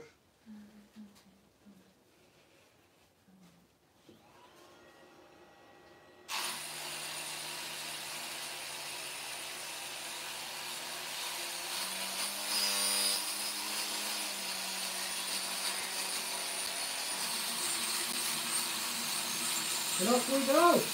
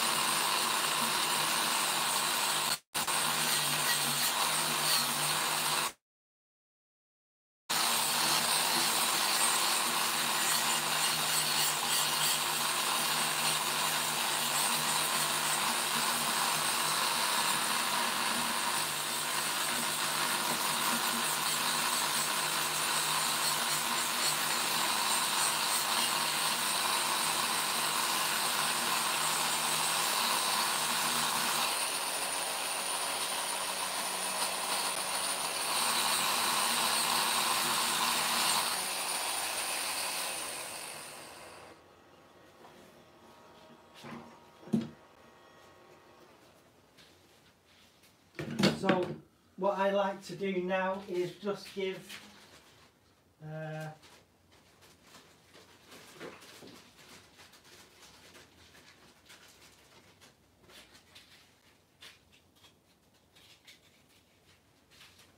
give some handwork now. That sounds very bad, sorry. Bit of handwork. So there's one, two, three, four, five, six,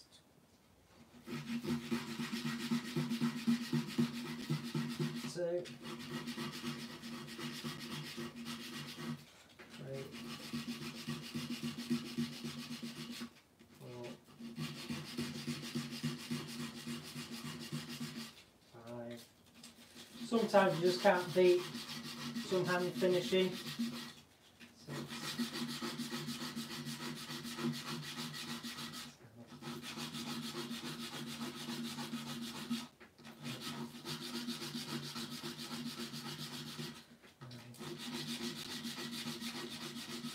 Ten. The power to the lathe is off.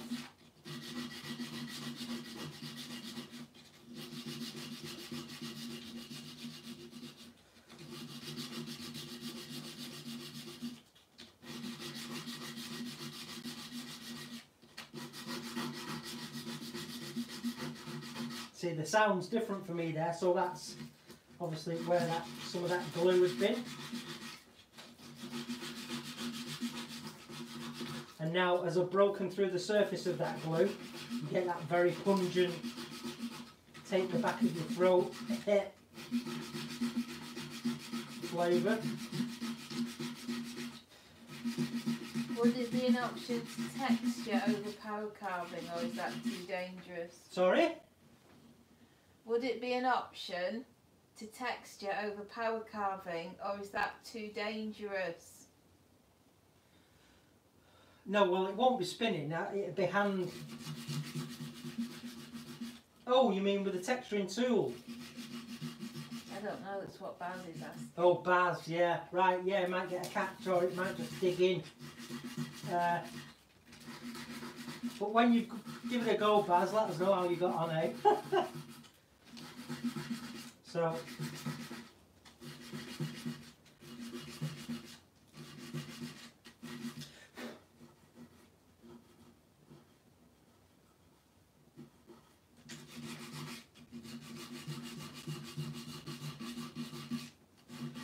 go around top corner there now.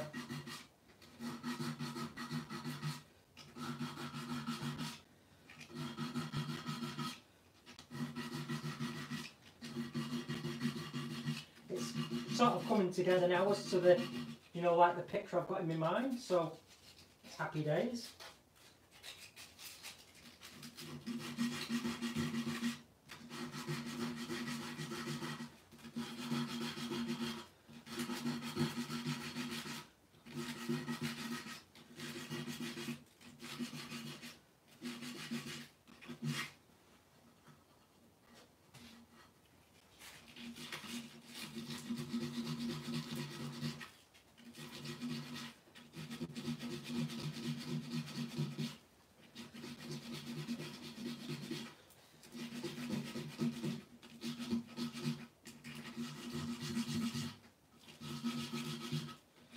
Right, so I'm going to go around now with some, that was 120.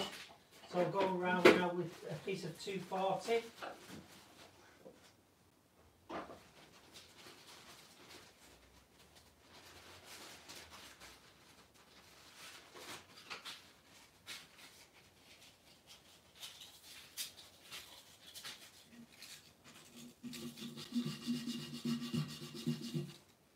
fact, let's start where that, right there.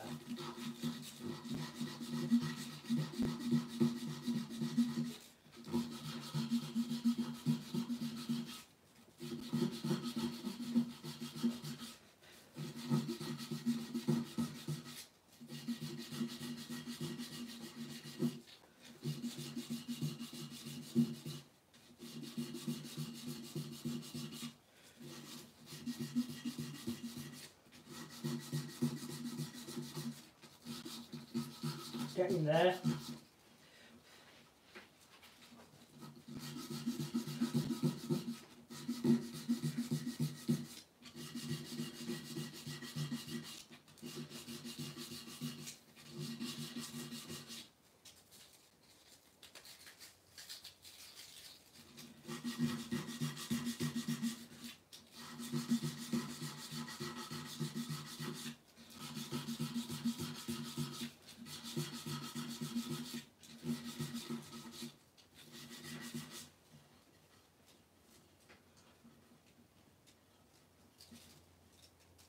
Great.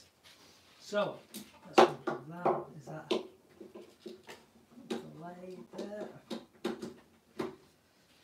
That should be back on. So,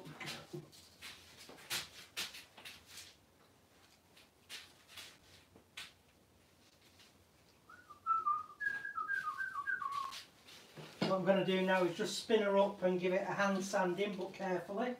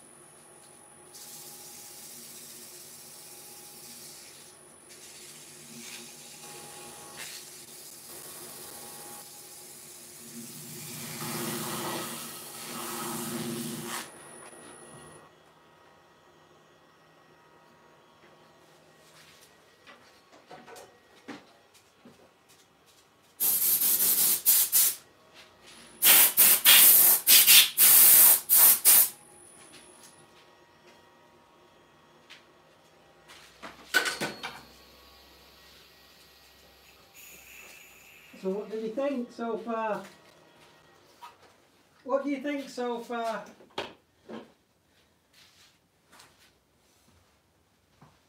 Just sorting out everybody's demos on the calendar. Oh, are they?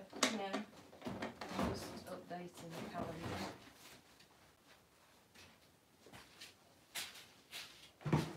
Uh, Evil says it looks great. Toby says absolutely awesome. David McClernand says cool piece, Chris. Uh, Flaming Turner looks good, Chris. Steve Coombs looks great, Chris.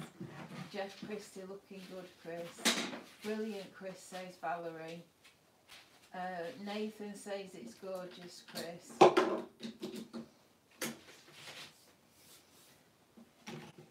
But you, you see how easy it is really. I mean, it's taking me time because I can't see. But technically, you know, it's not difficult. We've, you know, we've lost 20 minutes trying to fill cracks. Cy likes it, but he'd like more carving. JH Wood Turning says looks amazing. Well, Colin says looks great and you've still got all your fingers. yeah. So, Tiny Turner says she thinks it's going to be freaking cool. Cheers, Emma. TQ Blank says looks really good. So obviously now what I need to do is by feel start doing the engraving. So Si said, yeah, he'd love more carving. That's that's easy, yeah, when you can see and you know it's like getting really intricate then. But yeah, uh, but this little uh, touch now.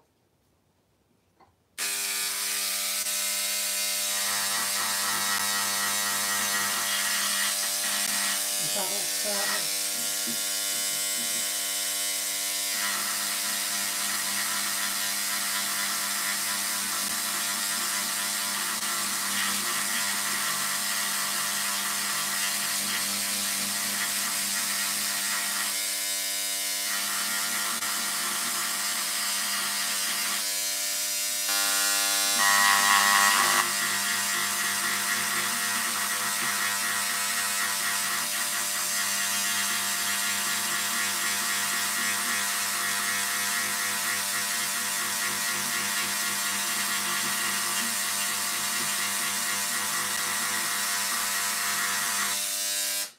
start. So it's a little rascal, but uh, it's not dangerous.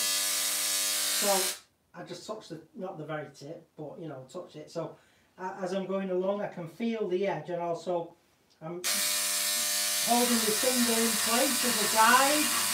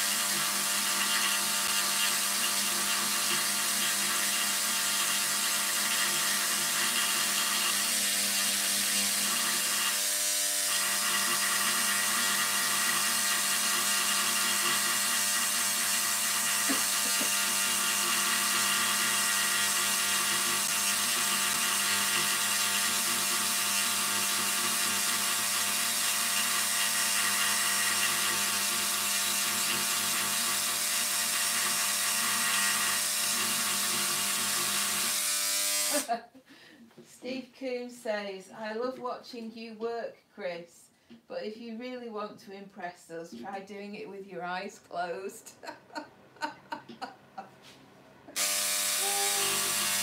Yeah.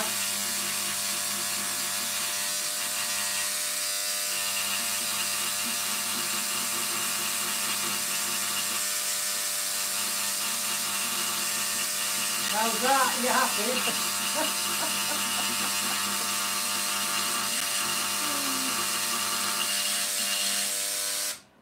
Yo, Coomsty, you better be really impressed now after I've done that.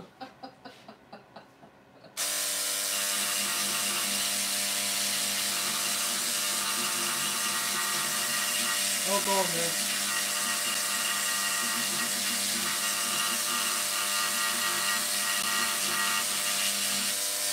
Yeah, the, see, the thing is, me closing the eyes makes no difference as to what I perceive, but it doesn't feel natural to close my eyes. Anywho, We've got an LMAO from Steve.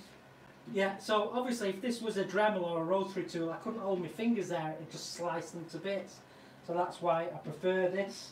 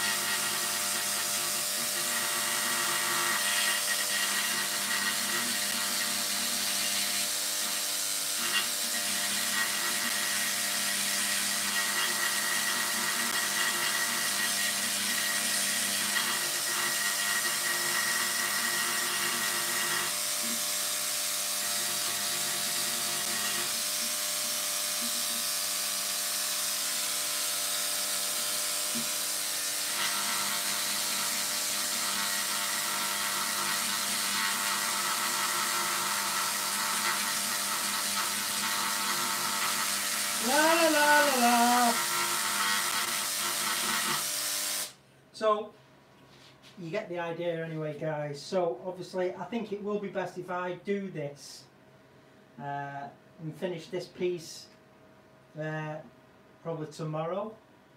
Uh, and I'll post Instagram photos anyway.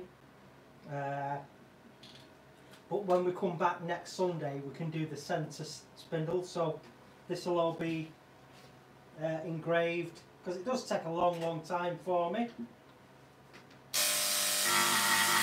A lot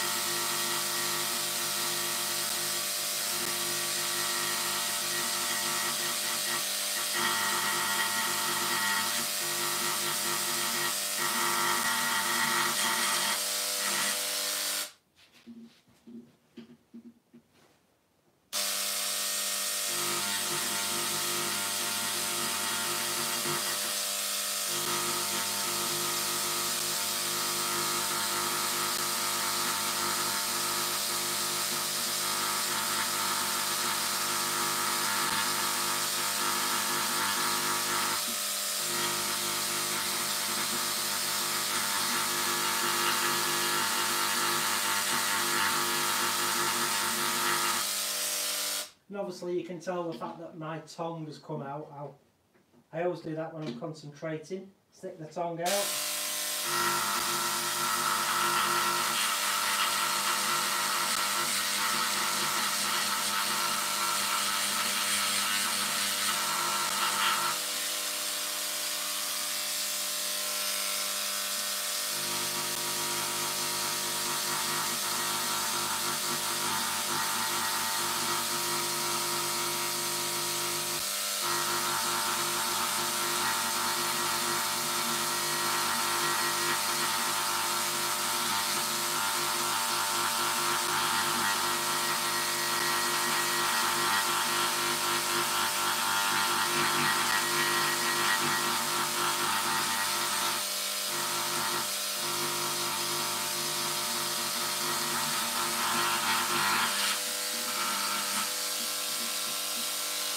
Nicola, please. Half past Half past nine. nine. Yeah.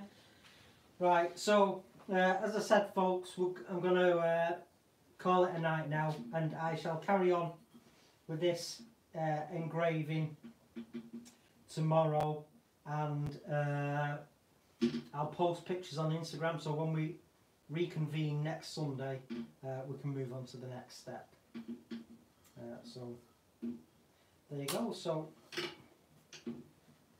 slowly working round, applying this texture. Coming along nicely.